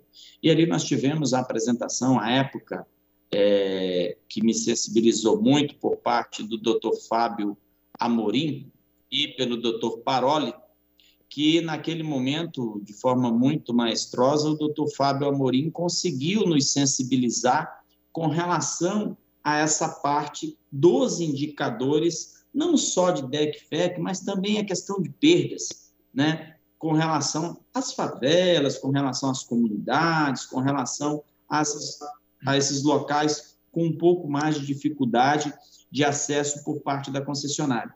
E naquele momento a gente, de, desde lá dessa fala, dessa apresentação do Dr. Fábio Amorim e na época também do Dr. Paroli, nós já vínhamos trabalhando a hipótese de termos aí uma, uma regulação um pouco mais amoldada a esse essa realidade que ninguém pode negar, né?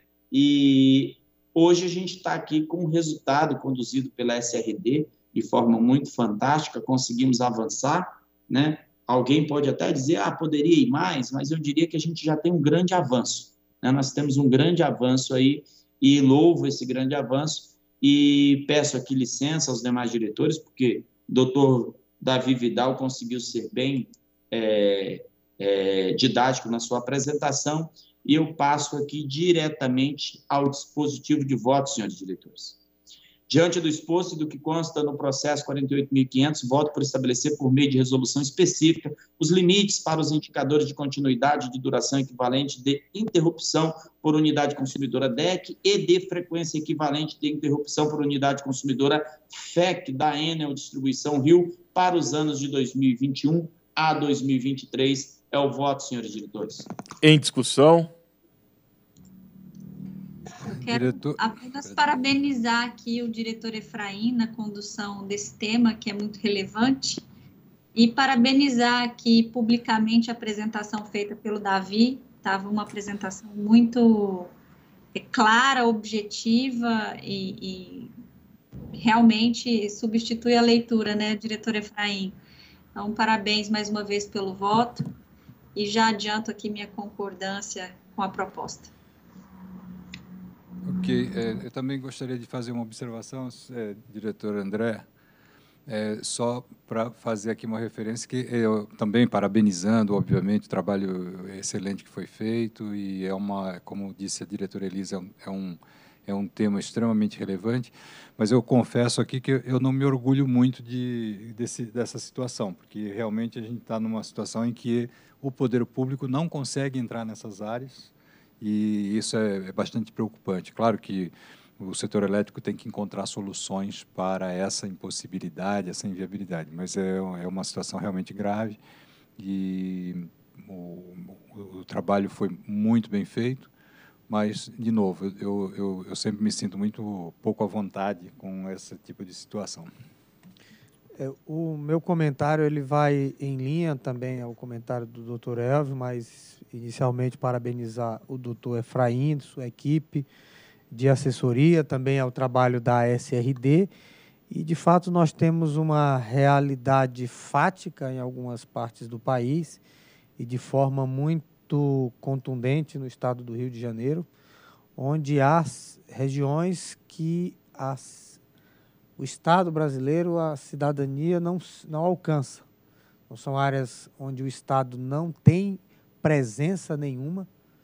E eu diria até que a, a única presença que existe é a energia elétrica, ainda que de forma transversa, ou seja, não há remuneração adequada pela prestação de serviço naquelas áreas, não há a, o, o consumo de energia elétrica de forma regular e, por óbvio, essa ausência de Estado, essa situação anômala, ela acaba transferindo custos para os demais consumidores.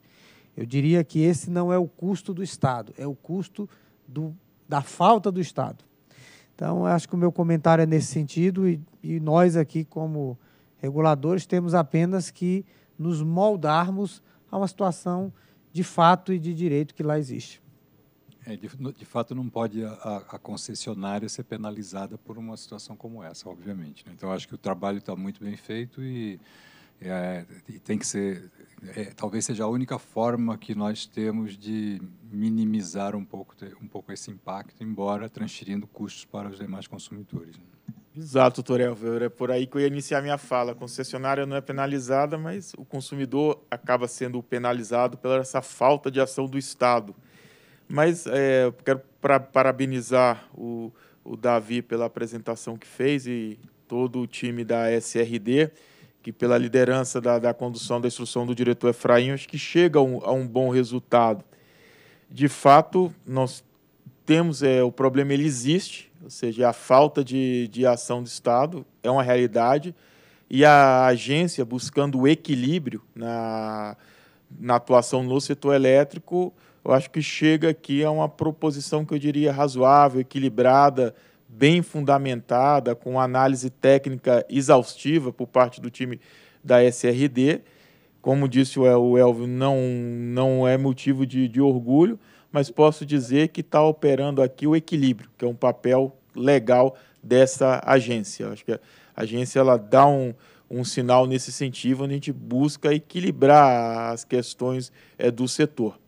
Não tem como deixar unicamente a concessionária responder por uma falta do Estado, ou seja, é uma situação em que transcende a, a gestão da concessionária nesse caso. Então, parabenizar toda a equipe e ressaltar mais uma vez que foi um trabalho técnico realizado com, com muito estudo e uma nota técnica muito densa da, da regulação da distribuição e que acho que consolida aqui uma ação equilibrada da agência. Então, em votação. Eu acompanho o voto do relator. Também voto com o relator. Eu também acompanho a proposta de voto do diretor Efraim Cruz. Também voto com o relator e assim proclamo que a diretoria do ANEL, por unanimidade, decidiu estabelecer, por meio de resolução, os limites para os indicadores de continuidade e duração equivalente de interrupção por unidade consumidora e de frequência equivalente de interrupção por unidade consumidora da Enel Distribuição Rio, para os anos de 21 a 23. Próximo item.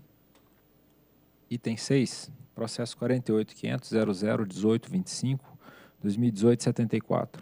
Resultado da consulta pública número 66 de 2020, instituída com vista a acolher subsídios e informações adicionais para aprimoramento da proposta de revisão da resolução normativa número 843 de 2019, exclusivamente para adequação de aspectos formais do normativo em relação ao início do preço horário em janeiro de 2021. Diretor relator Sandoval de Araújo Feitosa Neto. Muito obrigado, doutor Daniel Dana. A Resolução Normativa 843 de 2019 consolidou e disciplinou os critérios e os procedimentos para elaboração do Programa Mensal de Operação, o PMO, e a formação do preço de liquidação de diferenças, o PLD. O aprimoramento da referida norma está previsto na Agenda Regulatória 2021, conforme a atividade 52, principalmente em função da publicação da portaria MME 301 de 31 de julho de 19, que definiu a operacionalização do modelo computacional DECEM para fins de programação da operação pelo Operador Nacional do Sistema Elétrico, ONS, a partir de 1 de janeiro de 20, e para fins de formação do PLD, a partir de 1 de janeiro de 21.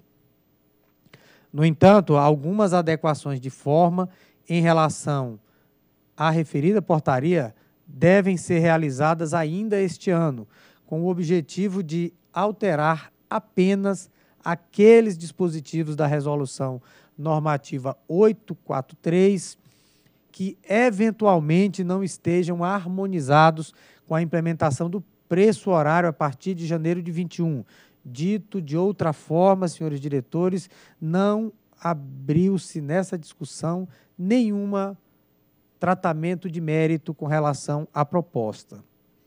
A resolução 843, entretanto, encontra-se já agendado para a como atividade indicativa para 2021.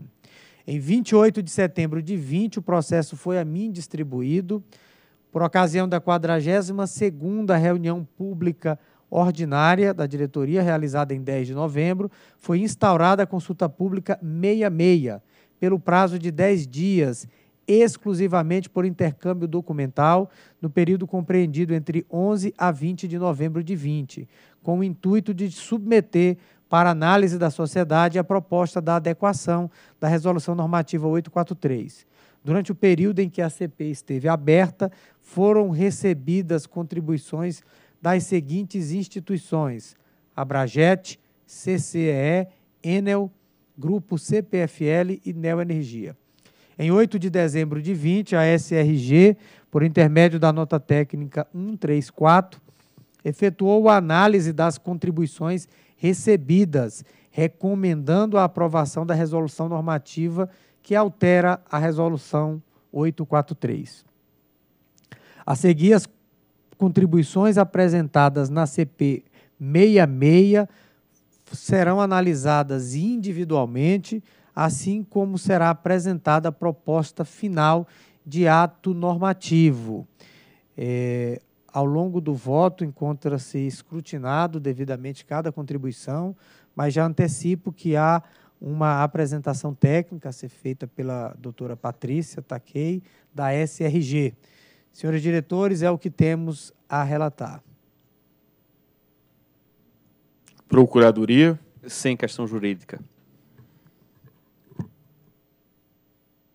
Trata o presente processo sob proposta de revisão da Resolução 843 de 2019 exclusivamente para adequação de aspectos formais do normativo em relação ao início do preço horário em janeiro de 21, conforme diretrizes estabelecidas na portaria MME 3, 301 de 19. Encaminho decisão no sentido de aprovar a emissão de resolução normativa conforme minuta anexa, que altera a resolução 843 de 2019. Conforme nota técnica 100 de 2020, os principais pontos identificados para adequação da resolução normativa 843 são aqueles vinculados ao horário limite de publicação do preço e do custo marginal, com, bem como as regras de contingência relacionadas a esses horários limites, tendo em vista que o regulamento vigente está baseado em uma granularidade semanal e não diária.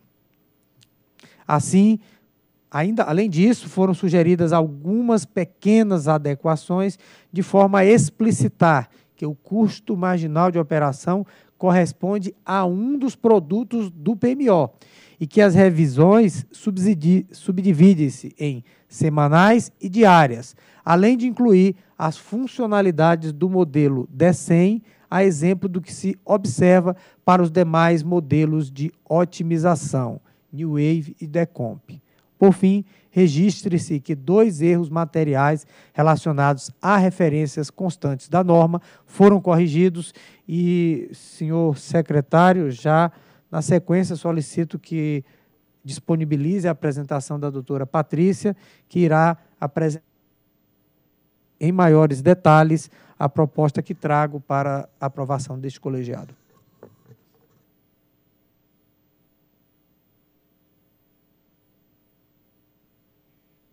Bom dia a todos. Eu vou apresentar os resultados da consulta pública número 66 de 2020, que trata da revisão da resolução normativa número 843 de 2019. Apenas para relembrarmos, essa consulta pública foi aberta para adequação de aspectos formais do normativo em relação ao início do preço horário em janeiro de 2021, conforme diretrizes estabelecidas pela Portaria 301 de 2019. Na consulta pública foram recebidas sete contribuições, das quais duas não foram acatadas. A primeira delas se refere ao parágrafo 3 do artigo 6, que estabelece que no horizonte comum dos modelos de otimização, os dados e informações considerados deverão estar compatíveis. Na proposta da CPFL, essa compatibilização deveria ocorrer apenas entre os modelos de médio e curto prazo, ou seja, entre os modelos New Wave e Decomp. Só que na análise da área, da área técnica, o ONS deve buscar a compatibilização sempre que possível e nos três modelos de otimização, o que inclui o modelo de curtíssimo prazo, que é o modelo D100. Então, por esse motivo, essa proposta não foi acatada. A outra contribuição se refere ao parágrafo 1 do artigo 9, que estabelece a atualização da oferta relacionada à expansão da geração.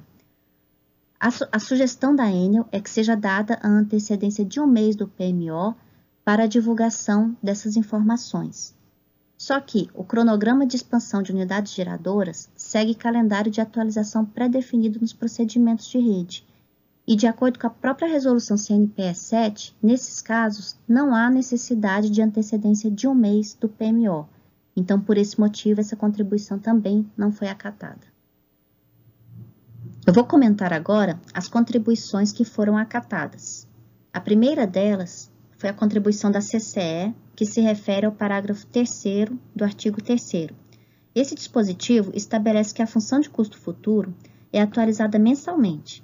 A proposta da CCE é deixar claro que a atualização mensal se refere ao modelo de médio prazo e propõe a inclusão de novo dispositivo para atualização da função de custo futuro do modelo de curto prazo, cuja periodicidade é semanal. Então, essa proposta da CCE foi acatada. A segunda contribuição, que é da CPFL, se refere ao parágrafo 3 do artigo 4 A inclusão desse dispositivo foi proposta na minuta de resolução para incluir as funcionalidades do modelo D100. No entanto, o texto atual pode levar à interpretação de que a granularidade semi-horária pode ser inferior a meia hora. Assim, a CPFL sugere a substituição do termo com duração de até meia hora pelo termo com duração mínima de meia hora, com a qual nós concordamos. A terceira proposta na consulta pública foi da Neoenergia e é referente ao artigo 17. No artigo 17, nós havíamos feito uma adequação em relação ao CMO quanto ao intervalo semi-horário e que é definido por barra. E naquela ocasião, nós mantivemos é, que serviria de base, o CMO serviria de base, de referência, apenas para a política de operação. Mas a Neoenergia sugere que seja mantido que o CMO servirá de referência também para a formação de preço, o que está correto. Então, nós vamos manter esse termo destacado em vermelho conforme proposta da Neoenergia. Uma outra proposta realizada pela CCE é referente ao artigo 22, esse dispositivo estabelece que, na hipótese de identificação de erro no processo de formação do PLD, o ONS e a CCE deverão corrigi-lo, produzindo-se efeito no, na semana operativa subsequente à identificação. Tendo em vista a entrada do preço horário, a CCE sugere uma adequação desse dispositivo para que a correção do erro produza efeito no dia subsequente à identificação. Então, essa proposta da CCE também foi acatada. E, por fim, a proposta da CPFL é referente ao inciso 3 do artigo 26, que estabelece que o e a CCE devem dirimir dúvidas quanto aos dados de entrada e informações referentes aos modelos de curto e médio prazo. Mas, na visão da CPFL, deveria estar incluído também o modelo de curtíssimo prazo, que é o modelo D100. Então, a CPFL sugere um termo mais abrangente, né? fazendo referência aos modelos de planejamento e programação da operação e formação de preço. Então, essa contribuição também foi acatada. Bom, agora algumas considerações finais sobre a consulta pública 66 de 2020. Tendo em vista que em 2020 ainda está vigente o preço semanal e considerando o início de vigência do preço horário em 1 de janeiro de 2021, nós sugerimos é, uma alteração na minuta de resolução em relação ao início da vigência. Hoje, a minuta prevê que o início da vigência ocorrerá a partir de sua publicação, e a nossa proposta é que esse início de vigência ocorra em 1 de janeiro de 2021, de forma a compatibilizar com o início do preço horário. Bom, eram essas as considerações. Eu agradeço a atenção. Muito obrigada.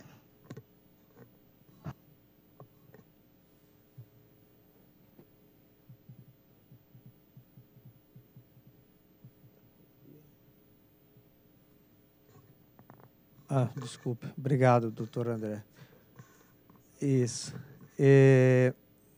Bem, como já dito na, no início da leitura do voto e também como muito bem apregoado pela doutora Patrícia, ah, não há nenhuma discussão de mérito no presente processo, é apenas a correção de aspectos formais para que possamos é, finalmente iniciar a operação horária a partir de 2021, é, um momento que eu considero um grande marco para a operação do sistema elétrico brasileiro, uma vez que estamos aí aproximando mais ainda a operação dos seus aspectos comerciais. Então, não, não temos maiores ponderações a fazer, além de agradecer a apresentação da doutora Patrícia e também a todas as empresas que participaram da presente consulta pública e, e dessa forma com, concluímos essa etapa importante da, do novo modelo de operação do sistema brasileiro que se iniciará a partir de 1 de janeiro. Então, feito esses comentários, eu peço licença aos diretores para fazer direto a leitura do dispositivo do voto e, nesse sentido, apregoar que, diante do exposto e do que consta do processo 48.500.001825 de 2018, eu voto, proponho a aprovação da emissão de resolução normativa, conforme minuta anexa, que altera a resolução normativa 843 de 2 de abril de 19. Senhores diretores, este é o voto. Em discussão?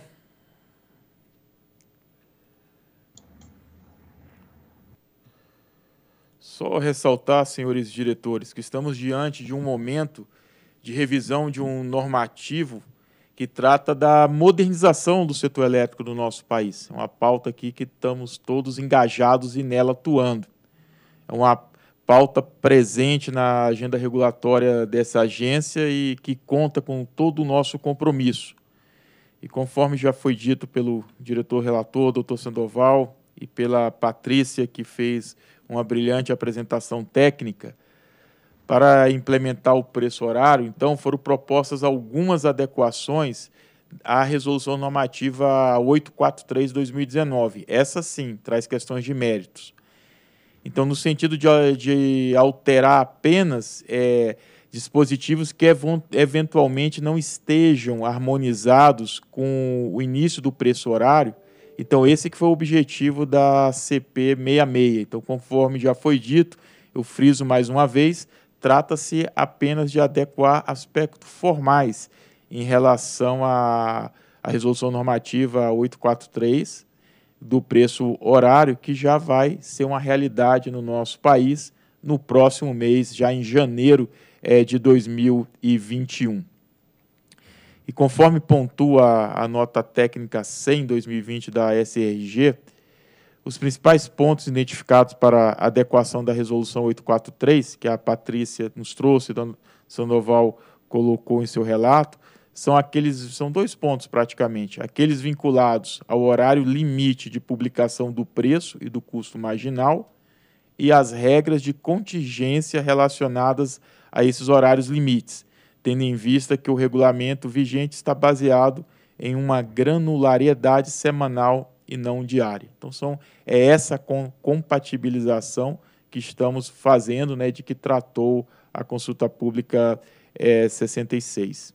E eu não tenho dúvida que as alterações que estão sendo aqui trazidas vão contribuir para a correta operacionalização do PLD horário a partir de janeiro de 21, favorecendo a formação de preço é, da energia oro-sazonal e aproximando, sobretudo, o preço da liquidação das diferenças da operação física do Sistema Interligado Nacional, buscando, assim, então, a eficiência da, do nosso sistema elétrico como um todo. E com essas alterações, veremos uma maior é, aproximação física com a operação financeira.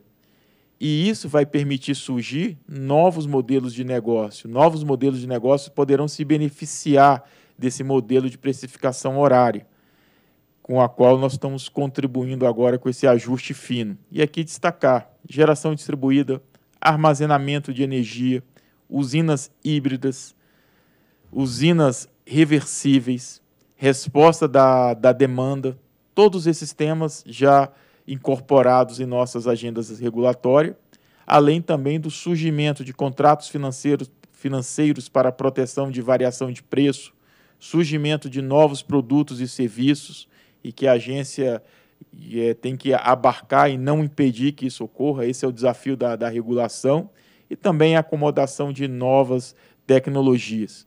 Então, o fechamento dessa audiência, doutor Sandoval, a CP 66, corresponde a mais uma importante etapa para o início do PLD horário, que antes era um cenário indefinido, depois tomou-se a firme decisão em 2019 para que em 2020 fosse na operação e 2021 operando já no mercado, e agora já é uma realidade, doutor Elvio. Mês que vem, 1 de janeiro já está operando então o PLD horário no nosso país, conforme estabelece a portaria do Ministério de Minas e Energia 301 de 2019. Então, só parabenizar todos os envolvidos nessa instrução liderada pelo diretor Sandoval. Eu me alinho ao que disse o diretor-geral. É, acho que é um avanço extraordinário aí na modernização do setor elétrico. Eu tive a oportunidade de participar de toda a discussão para a implantação do PLD horário no, no, na CEPAMP. Acho que é, um, é, um, é de fato um grande avanço. Já antecipo aqui meu voto. Favorável, claro. é, Mas ainda não está em votação. Então vamos inaugurar a votação, um voto que a gente dá com satisfação, né, em prol da inovação. Então, em votação a matéria. Eu acompanho o voto do relator. Também voto com o relator. Também, com louvor, acompanho o voto do ilustríssimo senhor doutor Sandoval. Também voto com o relator e assim proclamo que a diretoria da ANEL, por unanimidade, decidiu aprovar a emissão de resolução normativa que altera a resolução 843 de 2019, exclusivamente para adequações de aspectos formais do, no, do normativo em relação ao início do preço horário, já agora em janeiro de 21. Próximo item. Item 7. Processo 48.500.00 4034-2017-15. Resultado da consulta pública número 68 2020, instituída com vista a colher subsídios e informações adicionais para aprimoramento dos indicadores de desempenho do Programa de Performance Organizacional do Operador Nacional do Sistema Elétrico, ONS, para o ciclo entre janeiro e dezembro de 2021. Diretor-relator Sandoval de Araújo Feitosa Neto. Obrigado, doutor Daniel Dana. Em 17 de novembro de 20, a diretoria decidiu instaurar a consulta pública 68 de 2020, com período de contribuições até o dia 3 de dezembro de 20. Foram recebidas duas contribuições, sendo uma delas provenientes da Associação Brasileira de Grandes Consumidores Industriais de Energia e de Consumidores Livres, Abrace, e outra da EDP Energias do Brasil. Em 8 de dezembro de 2020, a SRG e SRT emitiram a nota técnica conjunta 135. Senhores diretores, é o que temos a relatar. Procuradoria. Também sem questão jurídica. Muito obrigado, doutor Luiz Eduardo. Bem, senhores diretores, o processo, o presente processo, trata dos indicadores de desempenho do Programa de Performance Organizacional do Operador Nacional do Sistema Elétrico para o ciclo entre janeiro e dezembro de 21. Ao avaliar os autos do processo, proponho decisão no sentido de aprovar os indicadores e as metas de desempenho a serem aplicados no programa de performance, performance organizacional do Operador Nacional do Sistema Elétrico, incorporando o indicador de previsão de geração de energia elétrica, o IPEOL, aperfeiçoando o indicador do atendimento ao limite de desempenho de fluxos sistêmicos, ADFs, e preservando os demais. Trata-se da mesma proposta trazida ao colegiado no momento da abertura desta consulta pública.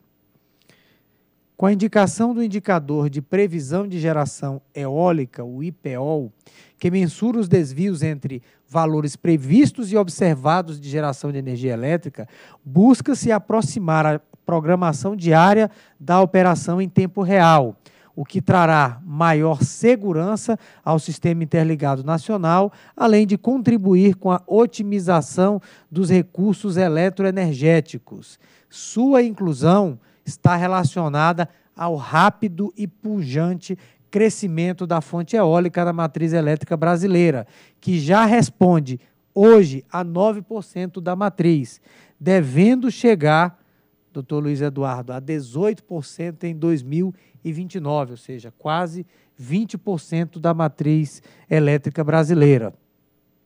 Sendo que majoritariamente desse insumo localiza-se na região nordeste do Brasil, o que congrega uma grande vantagem e benefícios para aquela região, haja vista que é a região do país que possui o menor índice de desenvolvimento humano da, do nosso país e que, coincidentemente, convergem com os mesmos locais onde há as melhores qualidades de vento e sol na, em nosso país.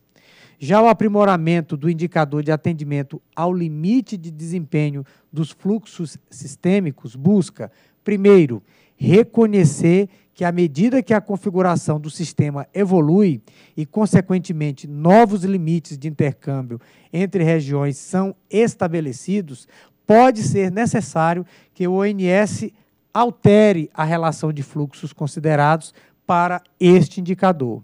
A tabela com os fluxos relacionados no período de apuração deverá ser disponibilizada no site do ONS. E dois, fazer com que o indicador de atendimento aos limites sistêmicos seja elevado de 97% para 98%. Ou seja, os fluxos avaliados devem estar dentro das faixas de segurança recomendadas pelos estudos elétricos específicos em, no mínimo, 98% do tempo de operação, quando houver a apuração mensal e anual desses indicadores. Em sua contribuição, a Abrace apoiou a inclusão do IPEOL e propôs a criação de um novo indicador para os próximos anos, com o objetivo de acompanhar o desempenho dos custos com os encargos de serviço do sistema. Embora meritória a contribuição, o controle sobre o ESS não cabe somente ao ONS. Exemplos nesse sentido seriam os despachos fora da ordem de mérito de custo, comandados pelo Comitê de Monitoramento do Sistema Elétrico, do Setor Elétrico, ou saídas compulsórias de equipamentos de transmissão e ou geração, implicando acionamento de recursos adicionais por motivações de confiabilidade no âmbito da operação em tempo real. Então, veja, senhores diretores, que são componentes exógenas ao ESS, no qual o ONS não tem controle. E de, forma que eu comungo com a recomendação da área técnica, que não há como nós vincularmos o desempenho do operador à elevação ou eventual diminuição do ESS.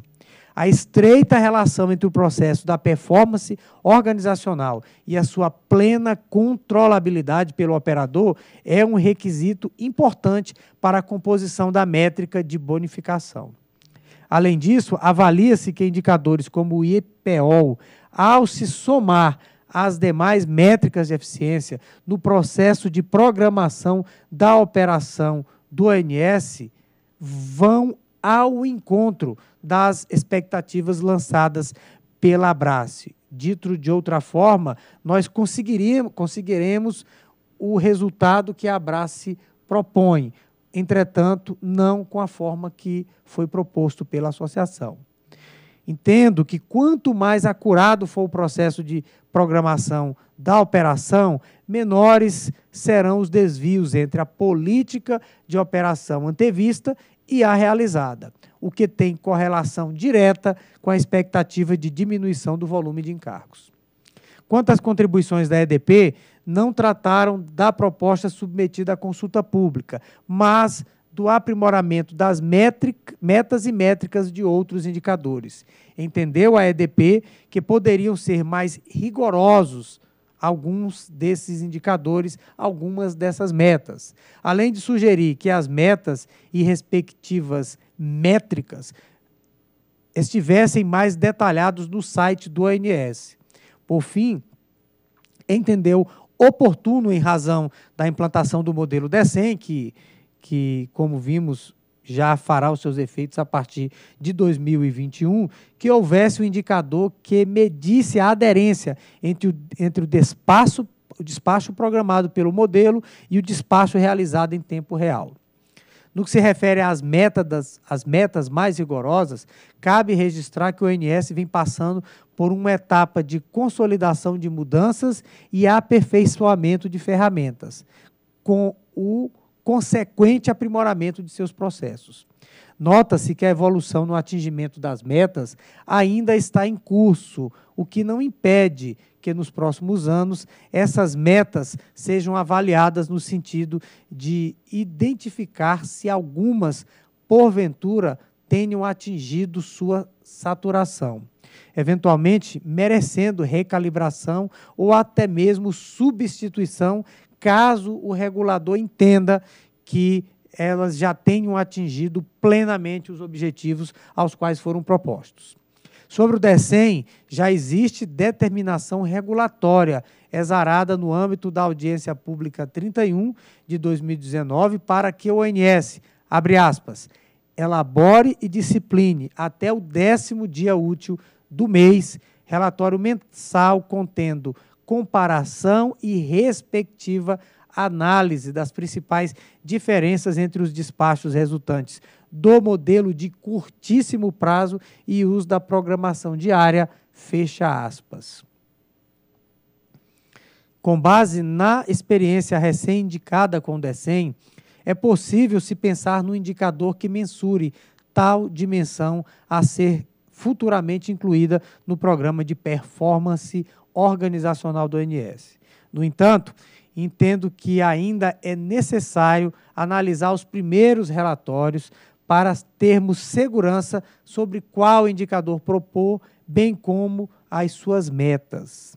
Quanto à transparência e reprodutibilidade, trata-se de ponto a ser assegurado sob forma incondicional, Nesse sentido, proponho determinar a SRG que atue junto ao ONS para assegurar a disponibilização no site do operador da apuração detalhada de todos os indicadores previstos no programa de performance organizacional.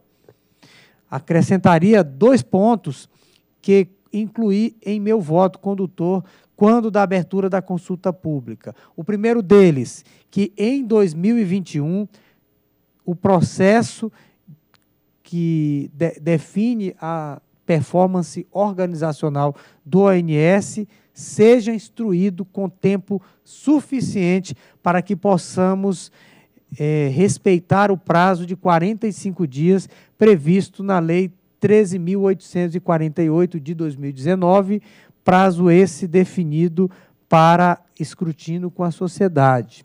E dois, por sugestão do Dr. Elvio Neves Guerra, estudar a inclusão do programa no programa de performance organizacional para o ano de 2022 de um indicador que mensure os desvios entre os valores previstos e os verificados da geração solar fotovoltaica, dado a grande, o grande crescimento observado em nosso país. E quando olhamos também para outras partes do mundo, verificamos que esse crescimento chegará no Brasil de forma inexorável e de forma muito preponderante, graças ao nosso elevadíssimo potencial de país tropical. Assim, senhores diretores, diante do exposto e do que consta do processo 48.500.004034 de 2017, voto por aprovar a minuta de resolução homologatória em anexo, que aprimora os indicadores e as metas de desempenho a serem aplicadas no programa de performance organizacional do Operador Nacional do Sistema Elétrico, entre janeiro e dezembro de 21, incorporando neste nessas metas o indicador de previsão de geração de energia eólica, IPEOL, aperfeiçoando o indicador de atendimento ao limite de desempenho dos fluxos sistêmicos e preservando os demais.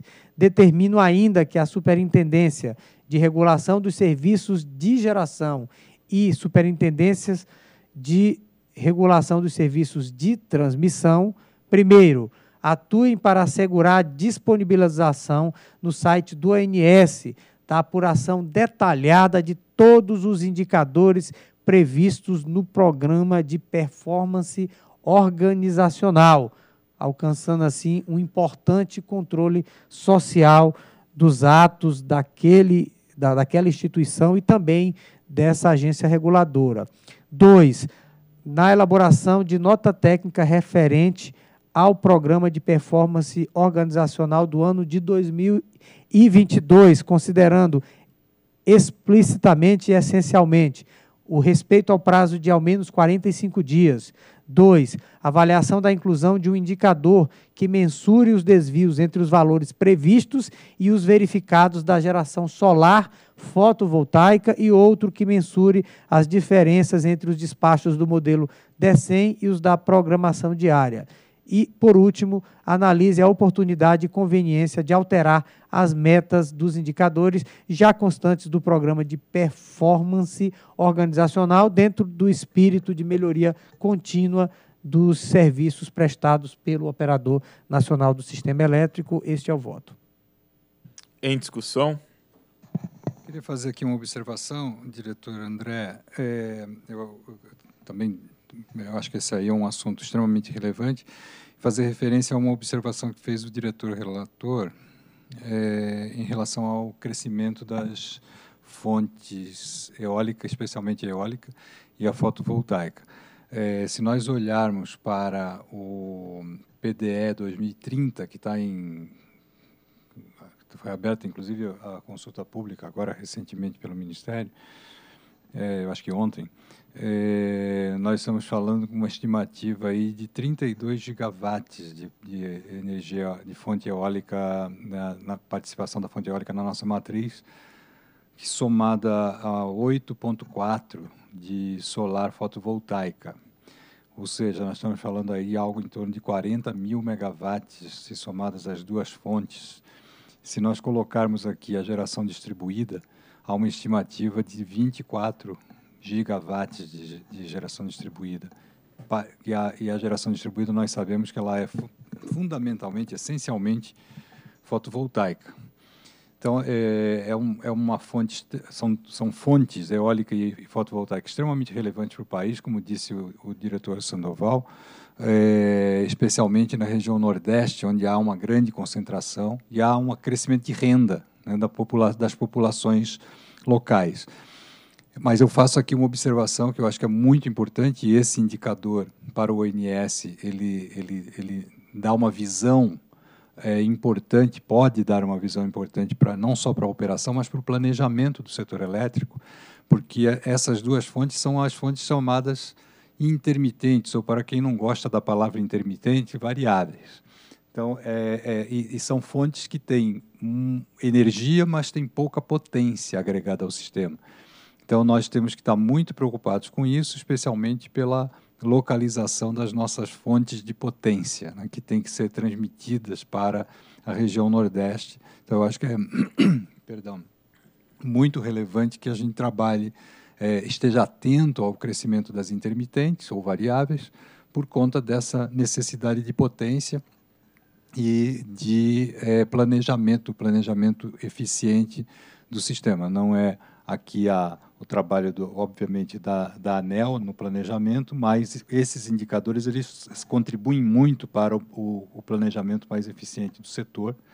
E parabéns aí pela, pela é, proposta de, de, de, ter um indicador agora para a eólica, como eu sugeri anteriormente, agradeço aí também a, a inclusão no voto, na proposta do diretor relator, que se pense também numa, num indicador para, para as fotovoltaicas, porque crescem de forma tão ou mais acelerada do que a eólica cresceu no passado. Então, eu acho que é, é um, são, são, é, tanto esse de eólica como no futuro um indicador para as fotovoltaicas vão contribuir muito para que o, o sistema possa operar de forma mais eficiente. Você traz um importante tema aqui para debate, doutor Elvio, e que temos que estar atento. Também me associo integralmente à sua palavra, também tenho essa preocupação, porque uma coisa é energia, outra coisa é potência. E nós vivenciamos agora um cenário crítico de potência, até diante da, do cenário em que a chuva atrasou, não veio em outubro, não veio em novembro, e se deslocou para a segunda quinzena de dezembro os reservatórios estão baixos, a gente vê o reservatório do Sudeste, que é 70% da capacidade de armazenamento do país, operando aí com 16,5%. Depois a gente vê o Sul e o Norte ali com seus 26% e o Nordeste com 49%. E potência ela está tá se demonstrando cada vez mais a sua necessidade. Então, daí era importante o governo estudar até uma possibilidade da realização de um leilão de potência já em, em 21. É, eu acho que isso é benéfico para o sistema. E outro ponto também que precisa ser analisado de maneira mais detida é a necessidade de potência nos subsistemas. Estamos falando aqui de um, um leilão regional, um leilão por subsistema, para alocar potência no sul, potência no nordeste, potência no norte, potência no sudeste. E não usar a lógica de ficar transferindo essa potência por meio do sistema de transmissão. Ah, o país evoluiu muito, eh, até 2000 éramos praticamente 100% hidráulicos, e agora com a diversificação da matriz e a ascensão, e apoiamos essa ascensão cada vez mais intensa da energia que você chamou de é, intermitente, o, é, tanto da eólica e da solar, sobretudo no Nordeste. O Nordeste está sendo o verdadeiro berço é, da geração eólica, mas também isso nos revela que falta potência na região Nordeste.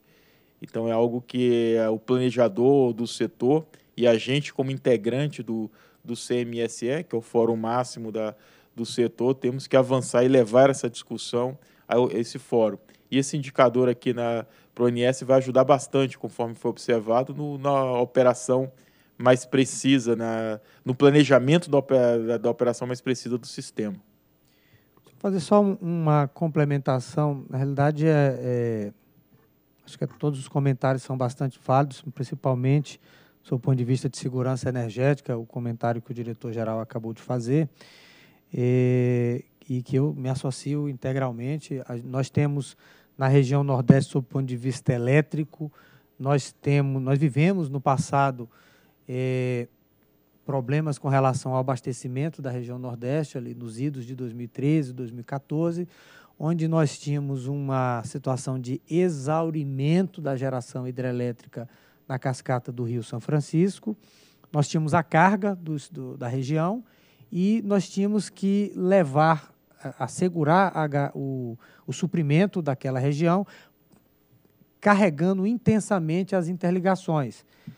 E, e assim foi feito. Naquele momento, por uma fragilidade do sistema de transmissão, houve o registro de blackouts na região é, em função de queimadas na região. De lá para cá, o que nós tivemos de mudança foi um crescimento muito grande da geração local por meio da geração eólica.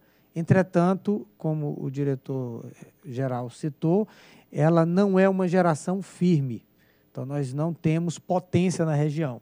Então, continuamos tendo que, para assegurar a, a, a segurança do fornecimento, continuar transmitindo grandes blocos de potência por meio das interligações. Então, esse ponto merece, de fato, uma, uma reavaliação, uma avaliação bastante é, importante dos órgãos de planejamento, contando, claro, com a contribuição da agência no que for pertinente. Eu queria apenas fazer um, um outro comentário a respeito da localização desses empreendimentos na região Nordeste. Como eu citei, o doutor Elvo complementou, há um grande impacto na renda dessas famílias. É, em meados de 2019, para ser mais preciso, no dia 17 de maio de 2019, eu encaminhei um ofício para a Abeólica, porque participamos da reunião do Conselho de Administração, na condição de visitante, é, especificamente para conhecer o, algumas experiências de impactos socioeconômicos da implantação desses empreendimentos. E, por ocasião deste ofício, solicitamos que a, a Beólica é, nos apresentasse até mesmo para que possamos é, divulgar tanto para o poder público dessas municipalidades ou para os estados as grandes benefícios do, do, da geração eólica e como também em se consolidando, isso se consolidará a geração solar.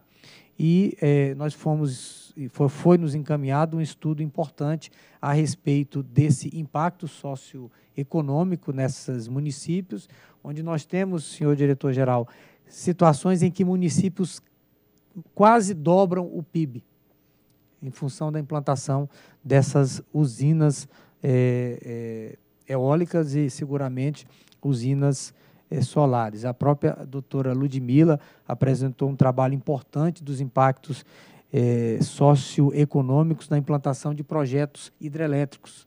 Então, indo que na mesma toada, nós entendemos a energia elétrica como um importante fator de desenvolvimento econômico da sociedade. Então, é, feito essas considerações, eu agradeço as manifestações tanto do doutor André como do doutor Elvio na proposta que trazemos. Em votação a matéria. Eu acompanho o voto do relator. Também voto com o relator. Senhores diretores, eu também acompanho o voto do relator. Também voto com o relator e assim proclamo que a diretoria da ANEL decidiu aprovar regulamento que aprimora os indicadores e as metas de desempenho a serem aplicados no programa de performance organizacional do Operador Nacional do Sistema entre janeiro e dezembro de 2021, incorporando o indicador de previsão de geração de energia eólica, o IPEOL, aperfeiçoando o indicador de atendimento ao limite de desempenho dos fluxos sistêmicos, o ADFS, e preservando os demais. E a diretoria determina ainda que a Superintendência de Regulação do Serviço de Geração e de Regulação da Transmissão atuem para assegurar a, a disponibilização no site do ONS da apuração detalhada de todos os indicadores previstos no Programa de Performance Organizacional, na elaboração da nota técnica relativa ao Programa de Performance Organizacional a ser adotado em 2022, que considere o prazo da consulta pública de ao menos 45 dias, a avaliação da inclusão de indicador que mensure os desvios entre os valores previstos e os verificados da geração solar e outro que mensure as diferenças entre os despachos do modelo D100 e os da programação diária, e análise da oportunidade e da conveniência de alterar as metas dos indicadores já constantes no programa de performance organizacional. Bom, senhores, vou propor que a gente interrompa a reunião e, retorna, e retornamos a 14h30, 15 horas. 15 15 horas, então, retornamos com a 47ª reunião pública. Bom almoço Perfeito, a todos. senhores diretores. Um abraço, bom almoço.